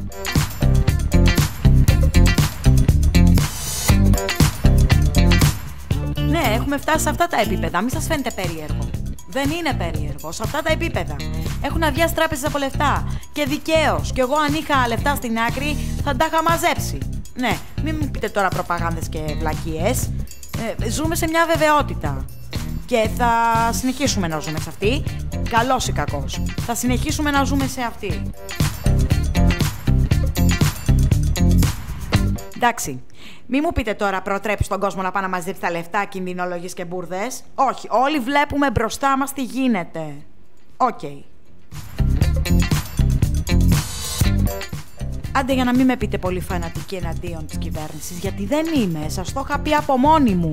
Να δώσουμε χώρο, χρόνο, πλάτη, τα θυμάστε αυτά έτσι; Ναι, ε, βγαίνω λίγο από τα ρούχα μου όμως, γιατί δεν έχουμε και καμία συνέπεια σε αυτά που λέμε. Δεν είμαστε ηλίθιοι, δεν είμαστε πρόβατα ακριβώς. Απελπισμένοι είμαστε και ο απελπισμένος και πνιγμένος από τα μαλλιά του πιάνεται.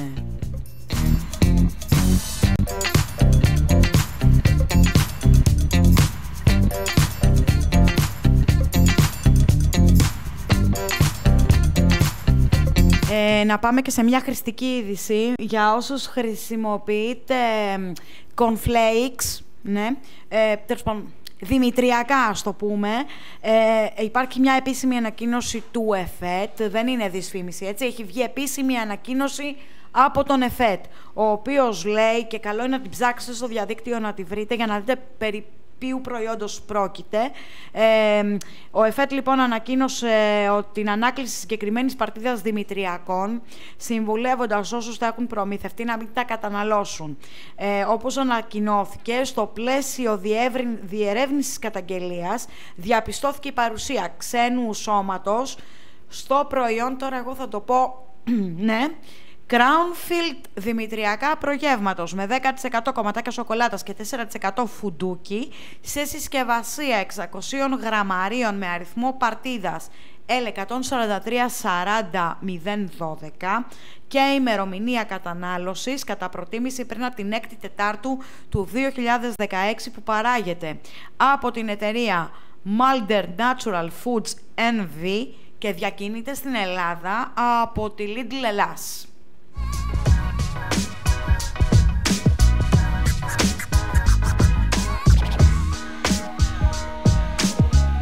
Να πούμε ότι η εταιρεία έχει ήδη ανακαλέσει το προϊόν από την αγορά.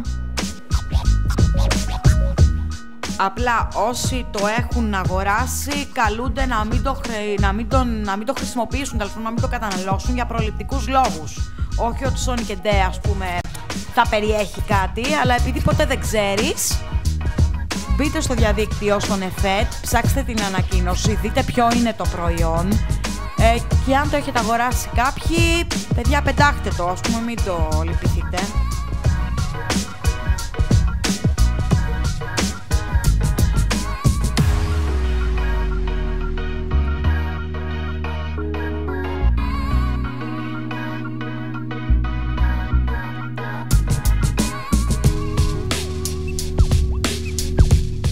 Λοιπόν, θα αναφερθούμε τώρα σε ένα θεματάκι λίγο έτσι... Πώς να το πω τώρα. Είναι, είναι διεθνές, έτσι. Είναι διεθνές. Λοιπόν, έχει να κάνει με τη Γαλλία. Και έχει να κάνει με τη Μαρή Λεπέν. Και έχει να κάνει με τις τοπικές εκλογές στη Γαλλία που έχουμε τον πρώτο γύρο στις 22 Μαρτίου.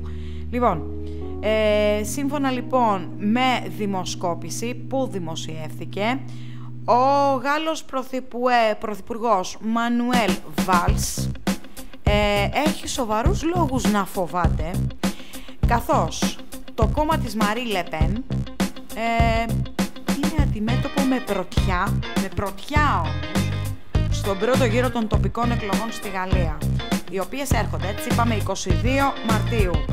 Όπως αναφέρει το δημοσίευμα, το εθνικό μέτωπο έρχεται πρώτο, καθώς συγκεντρώνει το 31% των ψήφων, σύμφωνα με τη δημοσκόπηση αυτή, έτσι. Αν ε, επιβεβαιωθεί η εκτίμηση αυτή, θα σημαίνει πως θα ξεπεράσει τόσο το κυβερνών Σοσιαλιστικό Κόμμα που έχει 21%, όσο και το κεντροδεξιό κόμμα Ένωση για ένα λαϊκό κίνημα που έχει 29% και αυτή τη στιγμή είναι η αξιωματική αντιπολίτευση. Αν και η Μαρή Λεπέν δεν αναμένεται να, δει, να εκλέγονται πολλά στελέχη του ΕΦΕΝ, τελικά στο δεύτερο γύρο, την 30η Μαρτίου, η καταγραφή και μόνο ενός τέτοιου ποσοστού θα σήμαινε πως το κόμμα της χτίζει πάνω στη νίκη του επί αμφωτέρων των δύο μεγάλων κομμάτων της Γαλλίας στις ευρωεκλογές του περασμένου Μαΐου.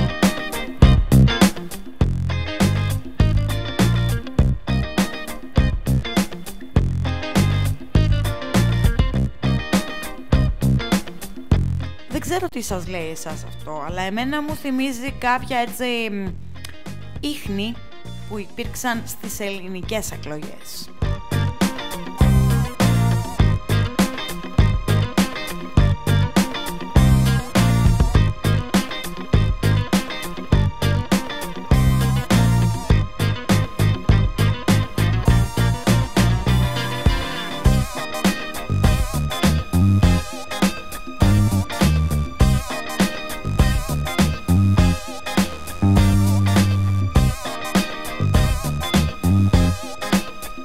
Τώρα θα ήθελα να αναφερθώ λιγάκι επειδή έσκασε και αυτό γιατί εδώ βλέπετε είναι οι εξελίξεις καταιγιστικές.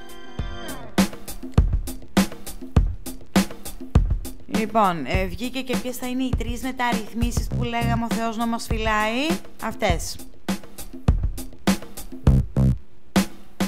Κυβερνητικές λοιπόν πηγές αποσαφηνίζουν τι είναι αυτό που περιμένουν από την κρίσιμη συνεδρία του Eurogroup η οποία τελείωσε ζητώντας στην ουσία ε, το Eurogroup να παραμείνει πολιτικό σώμα, να μην συζητάει τεχνικές λεπτομέρειες, καθώς όπως τονίζουν υπάρχει, συγγνώμη κιόλας πνίγηκα, Υπάρχει συμφωνία της 20 Φεβρουαρίου και στόχος της ελληνικής κυβέρνησης είναι να εξειδικεύσει το πλαίσιο της εφαρμογής της. Είναι αυτό που σας έλεγα πριν, ο Θεός να φυλάει.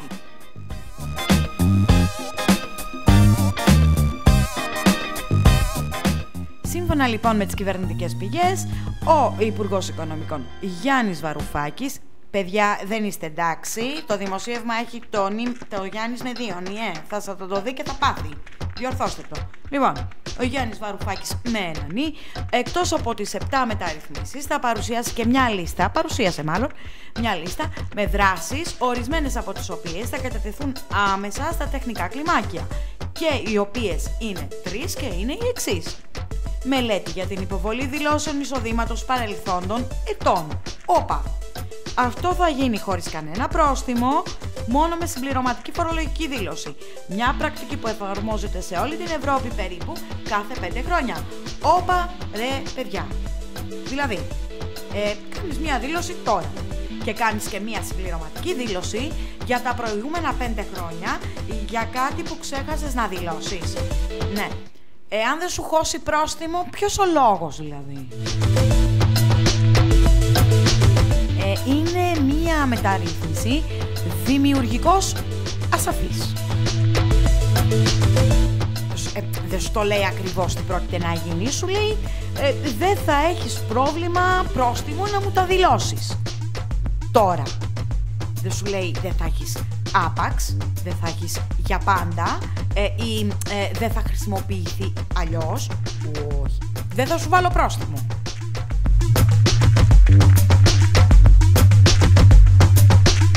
Αναφέρει το δημοσίευμα ότι στην ουσία η παραπάνω μεταρρύθμιση αποτελεί τη γνώριμη σε όλους διαδικασία της περαίωσης.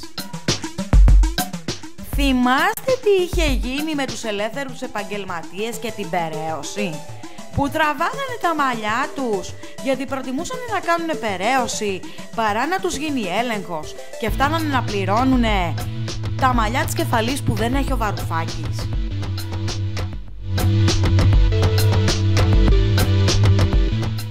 Πάμε τώρα στη δεύτερη μεταρρύθμιση, η οποία λέει ότι θα κατατεθεί τροπολογία προκειμένου να ελέγχθούν οι τριγωνικές συναλλαγές που έχουν ως στόχο τη φοροαποφυγή. Απαραίτητη μεταρρύθμιση προκειμένου να αντιμετωπιστεί η διαφορά, η διαφορά, ναι, και η φοροαποφυγή. Τι θα πει, τριγωνικές συναλλαγές, δεν μπορώ να σας πω. Θα μπορούσε να μεταφραστεί με διάφορους τρόπους. Ε, δεν μπαίνω σε αυτή τη διαδικασία γιατί θα τραβάμε τα μαλλιά μας. Πάντως καμία σχέση με ερωτικά τρίγωνα. Ε, αν και εκεί θα καταλήξουμε κάπως, δηλαδή θα είναι πολύ ερωτικές αυτές οι τρεις μεταρρυθμίσεις, αλλά μην το κάνουμε θέμα. Το τρίτο μεταρρύθμιση ε, αναφέρει χαρακτηριστικά ότι θα δοθούν επιπλέον κίνητρα ώστε οι πολίτες να διεκδικούν τις αποδείξεις στις συναλλαγές τους με τη θέσμηση αυτόματης διαδικασίας ώστε οι αποδείξεις λιανικής πώλησης να μπαίνουν σε λοταρία. Ε, ναι, ε, καλά άκουσατε, λοταρία. Αυτή η πρακτική θα επιβραβεύει την καλή φορολογική συνείδηση. Ναι, να σας θυμίσω εγώ τι είχε γίνει με τη συλλογή αποδείξεων στην αρχή, που τραβάγανε οι εφορίες στα μαλλιά τους, που μαζεύανε μαύρες σακούλες σκουπιδιών, φουλ στις αποδείξεις και δεν κάνανε οι εφοριακοί κανένα κόπο ούτε να τις πλησιάσουν; Σε ποια λοταρία θα μπουν καμάρια μου οι αποδείξεις; Και τι θα βγάζει μια απόδειξη από το σάκο και θα λέει «Η τάδε επιχείρηση είναι πάρα πολύ καλή, έδωσε μια απόδειξη». Μπράβο! Εάν αυτό το μπράβο συνοδευόταν και από τις τα διαγράφω τα χρέη της από την εφορία και από το τέδε και δεν ξέρω κι εγώ από πού αλλού, να το καταλάβω. Ε, μπράβο.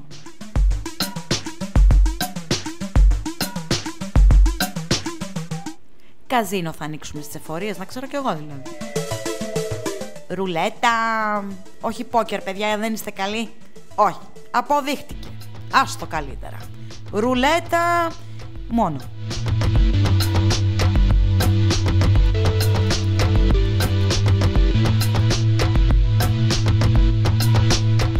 Άντε μέχρι ένα τζόκερ, ένα πρώτο. Όχι πόκερ. Από μπλόφες δεν καθόλου όμως.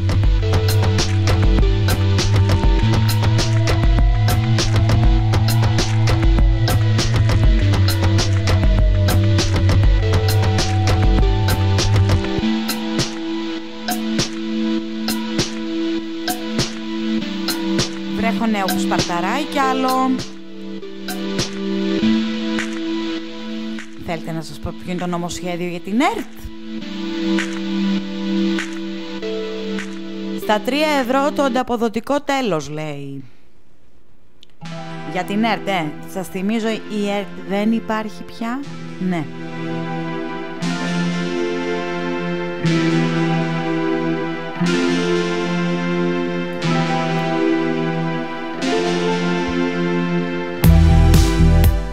Πω λοιπόν ότι σήμερα αναρτήθηκε για δημόσια διαβούλευση το νομοσχέδιο για τη νέα ΕΡΤ. Το, ΕΡΤ δεν μας κάνει, όχι. Νέα ΕΡΤ είναι, είναι σαν την Τρόικα και τους θεσμούς. Δεν μας κάνει το Τρόικα, δεν μας κάνει τον ΕΡΤ. Είναι οι νέοι θεσμοί και η νέα ΕΡΤ.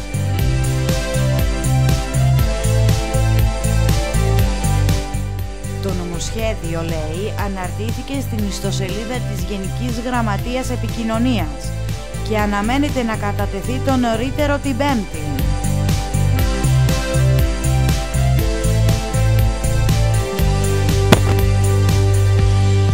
Τίτλος του νομοσχεδίου Ρυθμίσεις θεμάτων δημοσίου ραδιοτηλεοπτικού φορέα, ελληνική ραδιοφωνία τηλεόραση, ανώνυμη εταιρεία και τροποποίηση του άρθρου 48 του νόμου 2190 κάτω Παύλα 1920 και στην αιτιολογική έκθεση μεταξύ άλλων αναφέρει. Με το προτινόμενο σχέδιο νόμου και μέσα από την αναβίωση της ΕΡΤ ξυπνάει ο Λάζαρος Λάζαρε δεν βρω έξω έρχεται Πάσχα. Διασφαλίζεται η απρόσκοπτη παροχή της δημόσιας ραδιοτηλεοπτικής υπηρεσίας χωρίς ασυνέχεια, η οποία θα λειτουργεί με πιστή τήρηση των συνταγματικών αρχών. Ε, δηλαδή, ε, πώς να το πω και ευγενικά δεν ξέρω τώρα. Ναι, ε, όταν λέμε ασυνέχεια, τι εννοούμε, ότι θα πάρουμε πίσω όλα τα κοπρόσκυλα που τόσα χρόνια πίνανε καφέ στο κηλικείο της ΕΡΤ και είχαν τα μηχανήματα να σαπίζουν μέσα γιατί δεν τα χρησιμοποιούσαν,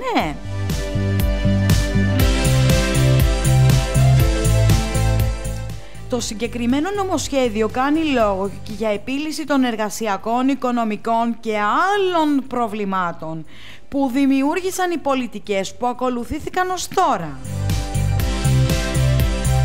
Ποιες από όλες, οι πολιτικές που τους έδιωξαν και πήραν πίσω το 1 τρίτο τέλος πάντων για να μην χαρακτηριστούν όλοι οι συνάδελφοι. Κάποιοι δεν ήταν συνάδελφοι, έτσι. Κάποιοι δεν ξέρανε που πέφτει η ΕΡΤ. Ναι, το είδα και αυτό προσωπικά, έτσι. Με τα ματάκια μου και τα αυτάκια μου. Το είδα και το άκουσα. Συνάδελφε, σε ποια στάση του μετρό κατεβαίνω για την ΕΡΤ; Ναι, OK. Okay. Υπάρχουν, υπήρξαν όμως και κάποιοι οι οποίοι δούλευαν σκυλιά, οι οποίοι ξαναμπήκανε μέσα στην ΕΡΤ και καλά κάνανε και ξαναμπήκανε που λέει ο λόγος.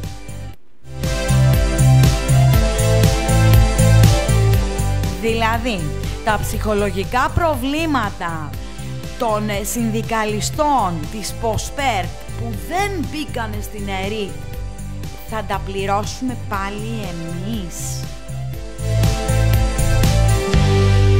Σας κάνει κάτι από ΔΕΗ πάλι;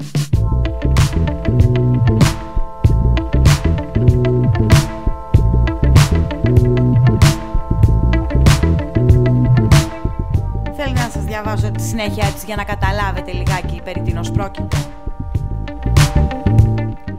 Στο προτινόμενο λοιπόν νομοσχέδιο σημειώνεται πως η κάθε είδους συμβάσεις εργασίας ιδιωτικού δικαίου αορίστου χρόνου, αορίστου χρόνου, του προσωπικού, το οποίο την 11η Ιουνίου 2013 ιερή μέρα για μένα, συγγνώμη αλλά έτσι είναι, αποσχολείτος στην ΕΡΤ ΑΕ οι οποίες λύθηκαν καθιονδήποτε τρόπο με το άρθρο 3 μπουρου μπουρου μπουρου όπως ισχύει αναβιώνουν, αναβιώνουν, ναι, από την ημέρα δημοσίευσης του παρόντος στην εφημερίδα της κυβερνήσεως και θεωρούνται εφ' συμβάσεις που έχουν συναυθεί με την εταιρεία του άρθρου 1 του παρόντος νόμου.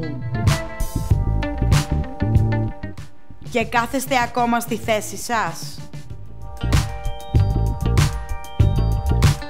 Πλάκα μου κάνουνε, δηλαδή αναβιώνουν την πεθαμένη ΕΡΤ που απομιζούσε το ελληνικό δημόσιο. Που μάζευε κοπρόσκυλα και κομματόσκυλα και τα τάιζε χωρίς να ξέρουν που βρίσκεται καν το ραδιομέγαρο. Πλάκα κάνετε.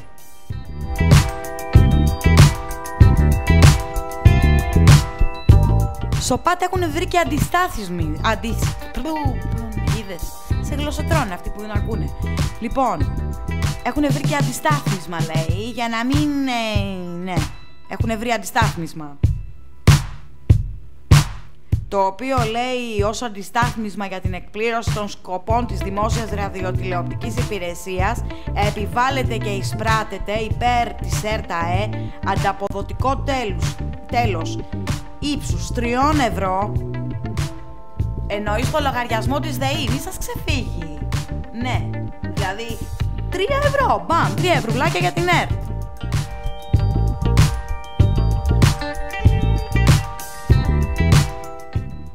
Ενώ λέει στις παραγράφους 1 και 2 του τάδε άρθρου του τάδε νόμου του 13 όπως αναφέρεται η φράση νερίτα ε αντικαθίσταται ως έρταε.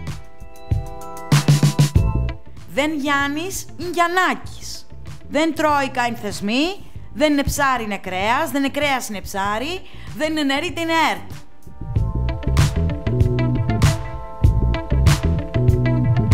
Επίσης λέει, συστήνεται ειδική επιτροπή ελέγχου με σκοπό τον έλεγχο των οικονομικών στοιχείων της εκαθάρισης της ΕΡΤ και των θυγατρικών της που καταργήθηκαν και αυτές καταργήθηκαν και αυτές ξανασυστήνονται. Δηλαδή, νεκρανασταίνουμε την ΕΡΤ με όλα τα λάθη, τις, τα χρέη, τα πάντα. Την αναβιώνουμε, έτσι. Λοιπόν, και κάνουμε καθάριση. Θα σας θυμίσω λοιπόν, όλες οι προηγούμενες κυβερνήσεις μέχρι τώρα τι κάνανε. Ναι, καθαρίζανε την ΕΡΤ. Καθαρίζανε την ΕΡΤ, αλλά πάντα όλοι ήταν μέσα. Ένας δεν έφυγε, όχι. Κάτι δύστιχοι φύγανε με συμβάσεις που θέλανε να δουλέψουν και πατάγανε μέσα στην ΕΡΤ και πηγαίνανε για δουλειά και βρίσκονταν οι συνδικαλισταράδες της Πορσπέρτ και πήγαινε η άλλη να πιάσει δουλειά ως σκηνοθέτης και της λέγανε «Κοπελιά, δεν πας μέχρι το σπίτι σου να ξεκουραστείς και όταν λήξει η σύμβασή σου, ε, ξανά έλα να την ανανεώσουμε, δεν τρέχει τίποτα». Πά και τους χαλάς τη σειρμαγιά και το τεμπέλικι και το αραλίκι; Που πήγαινες να δουλέψεις στην ΕΡΤ και πήγαινες να δουλέψεις έτσι κανονικά. Και μπαίνανε οι συνδικαλιστές μπροστά. Α, εμείς δεν το κάνουμε έτσι εδώ. Όχι. Άμα δεν πιάσουν πέντε δάχτυλα σκόνη τα εργαλεία και τα μηχανήματα, δεν ακουμπάμε. Που δούλευε η ΕΡΤ με συνεργεία εξωτερικά για τα δικά της τα συνεργεία ήταν στο Αραλίκι να πηγαίνουν με τα υπουργικά συμβούλια τους πρωθυπουργούς και τους προέδρους της Δημοκρατίας και βγάζαν όλη τη βρωμοδουλειά, τα εξωτερικά συνεργεία.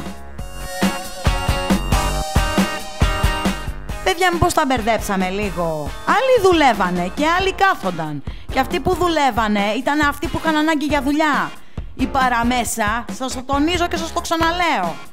Δεν ξέρανε που πέφτει το ραδιομέγαρο της ΕΡΤ μετά από 20 χρόνια που ήταν στο μισθολόγιο της.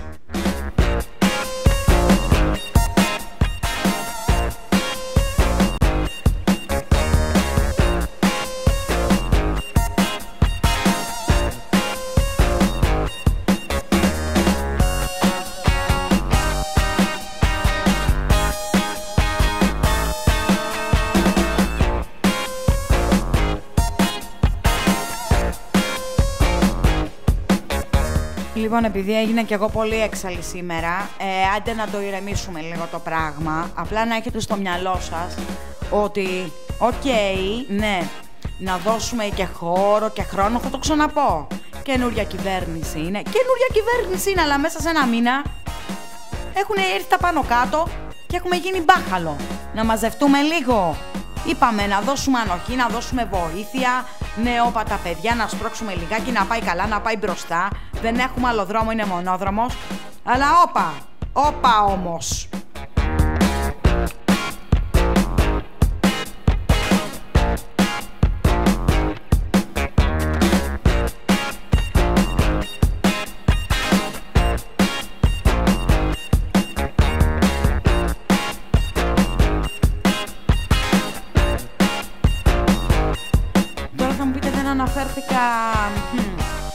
Στην κατάληψη στο ΣΥΡΙΖΑ.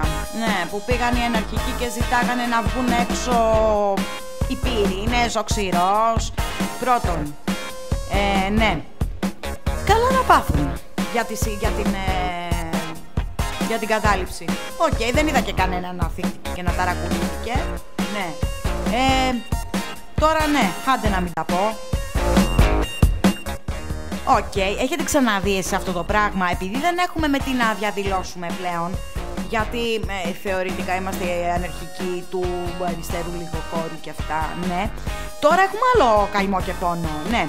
Να βγάλουμε τους Πυρήνες όξω και να βγάλουμε και τον Ξηρό όξω. Τώρα θα μου πείτε, άμα αυτοί οι δύο βγουν έξω, Πυρήνες και Ξηρός, ε, θα σφαχτούν μεταξύ τους. Είναι γεγονός. Θα ψάχνουν να βρουν ποιος είναι το καρφί που τους καρφώνει κάθε φορά. Αν και αυτοί ξέρουν τέλος πάντων. Αλλά ε, το έχετε ξαναδεί εσείς αυτό; Να κάνουν κατάληψη σε κυβερνητικό κόμμα για να αφήσει ελεύθερους τους πυρήνες που είναι τρομοκρατική οργάνωση χαρακτηρισμένη το Ξηρό που ήταν υπαρχηγός στη 17 Νοέμβρη και ο νούμερο ένα εκτελεστής της ναι, ε, που είναι τρομοκράτες έτσι όλοι αυτοί. Που κάνουν απεργία πείνας. Δεν ξέρω γιατί τους αδίκησε η κοινωνία. Ναι, άτιμη κοινωνία που τους έριξε στα ξένα χέρια της φυλακής δεν ξέρω. Αλλά τέλος πάντων και να κάνουν τώρα κατάληψη στο ΣΥΡΙΖΑ να αφήσει δύο τρομοκρατικές οργανώσεις ελεύθερες γιατί είναι αγωνιστές. Το έχουμε χάσει. και δεν βγήκαν από το ΣΥΡΙΖΑ. Τι να βγουν τώρα, τι λέω κι εγώ. Να βγουν από το ΣΥΡΙΖΑ να το καταγγείλουν αυτό και να πούνε εμείς καταδικάζουμε αυτά τα πράγματα. Που δεν κουνήθηκε μηγά. Που μιλάμε τώρα για δύο τρομοκρατικές οργανώσεις που ε, τουλάχιστον η μία έχει φάει κόσμο.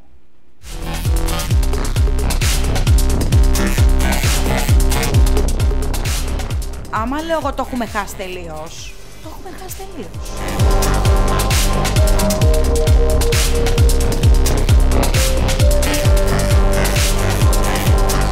Λοιπόν, ας τα αφήσουμε αυτά γιατί αρκετά μου ανέβηκε και εμένα η πίεση στο κεφάλι. Πλησιάζουμε να τελειώσουμε άλλωστε, είναι 7 και 51. Να σας ενημερώσω για όσους ε, έτσι έχετε δουλειές και θα ταξιδέψετε προς Κόρινθο και Μέγαρα.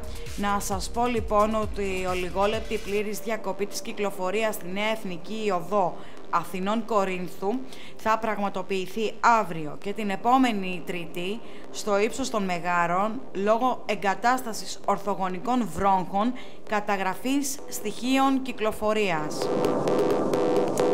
Στην ανακοίνωση που εξέδωσε η ελληνική αστυνομία αναφέρεται ότι λόγω εκτέλεσης εργασιών εγκατάστασης ορθογονικών βρόχων καταγραφής στοιχείων κυκλοφορίας θα πραγματοποιηθεί πλήρης διακοπή της κυκλοφορίας των οχημάτων στο ύψος... Ε, όχι, δεν μπορώ να σας το πω αυτό γιατί δεν το καταλαβαίνω ούτε εγώ. Καλύτερα να μπείτε στο ελληνικιαστυνομία.gr για να το δείτε. Θα σας πω μόνο ότι οι διακοπές αυτές θα γίνουν στις 10 το πρωί ε, για περίπου 8 λεπτά και μεταξύ 12 και 12.30 πάλι για 8 λεπτά. Ε, απλά εντάξει τώρα και να πέσετε πάνω 8 λεπτά μπορείτε να τα περιμένετε με το αυτοκίνητο. Μην διαμαρτυρηθείτε. Έτσι είναι για καλό. Είναι για να ελέγχετε και η κυκλοφορία. Απλά παρακαλούνται οι οδηγοί να είναι ιδιαίτερη προσεκτικοί, να, ιδιαίτερα προσεκτικοί να ακολουθούν τη σήμανση.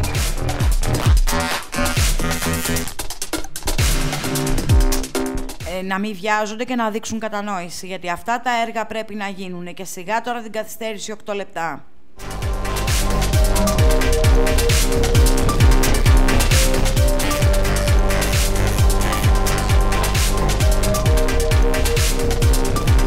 Όσον αφορά τώρα στο Πολυτεχνείο και στο γκράφιτι, ξέρετε εκείνο το έκτρωμα που... ναι, αυτό. Που κάποιοι το βρήκαν επιχαριτωμένο. Αυτό και αν ήταν δημιουργικό σας αφές. Αφού λοιπόν ε, καταστρέψανε το νεοκλασικό του Πολυτεχνείου, που κανείς δεν μπορεί να καταλάβει πώς έγινε αυτό το πράγμα μέσα σε μία νύχτα και πώς κανείς δεν το πήρε χαμπάρι, διατάχθηκε κατεπίγουσα προκατακτική έρευνα από τον εισαγγελέα.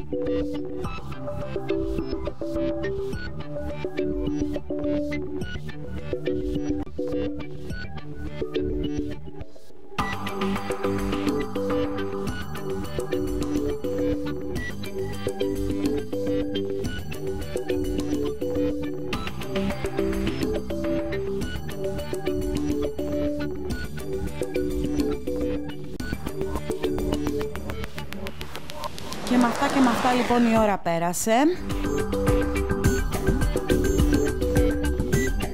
Κοντά σας πάλι είχαμε την άλλη Δευτέρα 6 με 8. Ακολουθεί πανιόνια πορεία με το Χρήστο Καραφανάση. Από μένα καλό σας βράδυ και αν ήμουν λίγο δεκτική και λίγο υπέρ του δέοντος έτσι κακεντρεχής Να ξέρετε ότι απλά έχω μάθει να λέω την αλήθεια όπως πρέπει. Και δεν μ' αρέσει να βλέπω τα πράγματα πίσω από θολά τζάμια ή από πέπλα μυστηρίου. Αυτά. Καλό σας βράδυ, καλή εβδομάδα, υπομονή για ό,τι μας έρχεται. Και να θυμάστε ότι ο καλύτερος τρόπος αντιμετώπισης των δυσκολιών είναι το χαμόγελο και υπομονή. Καλή σας νύχτα.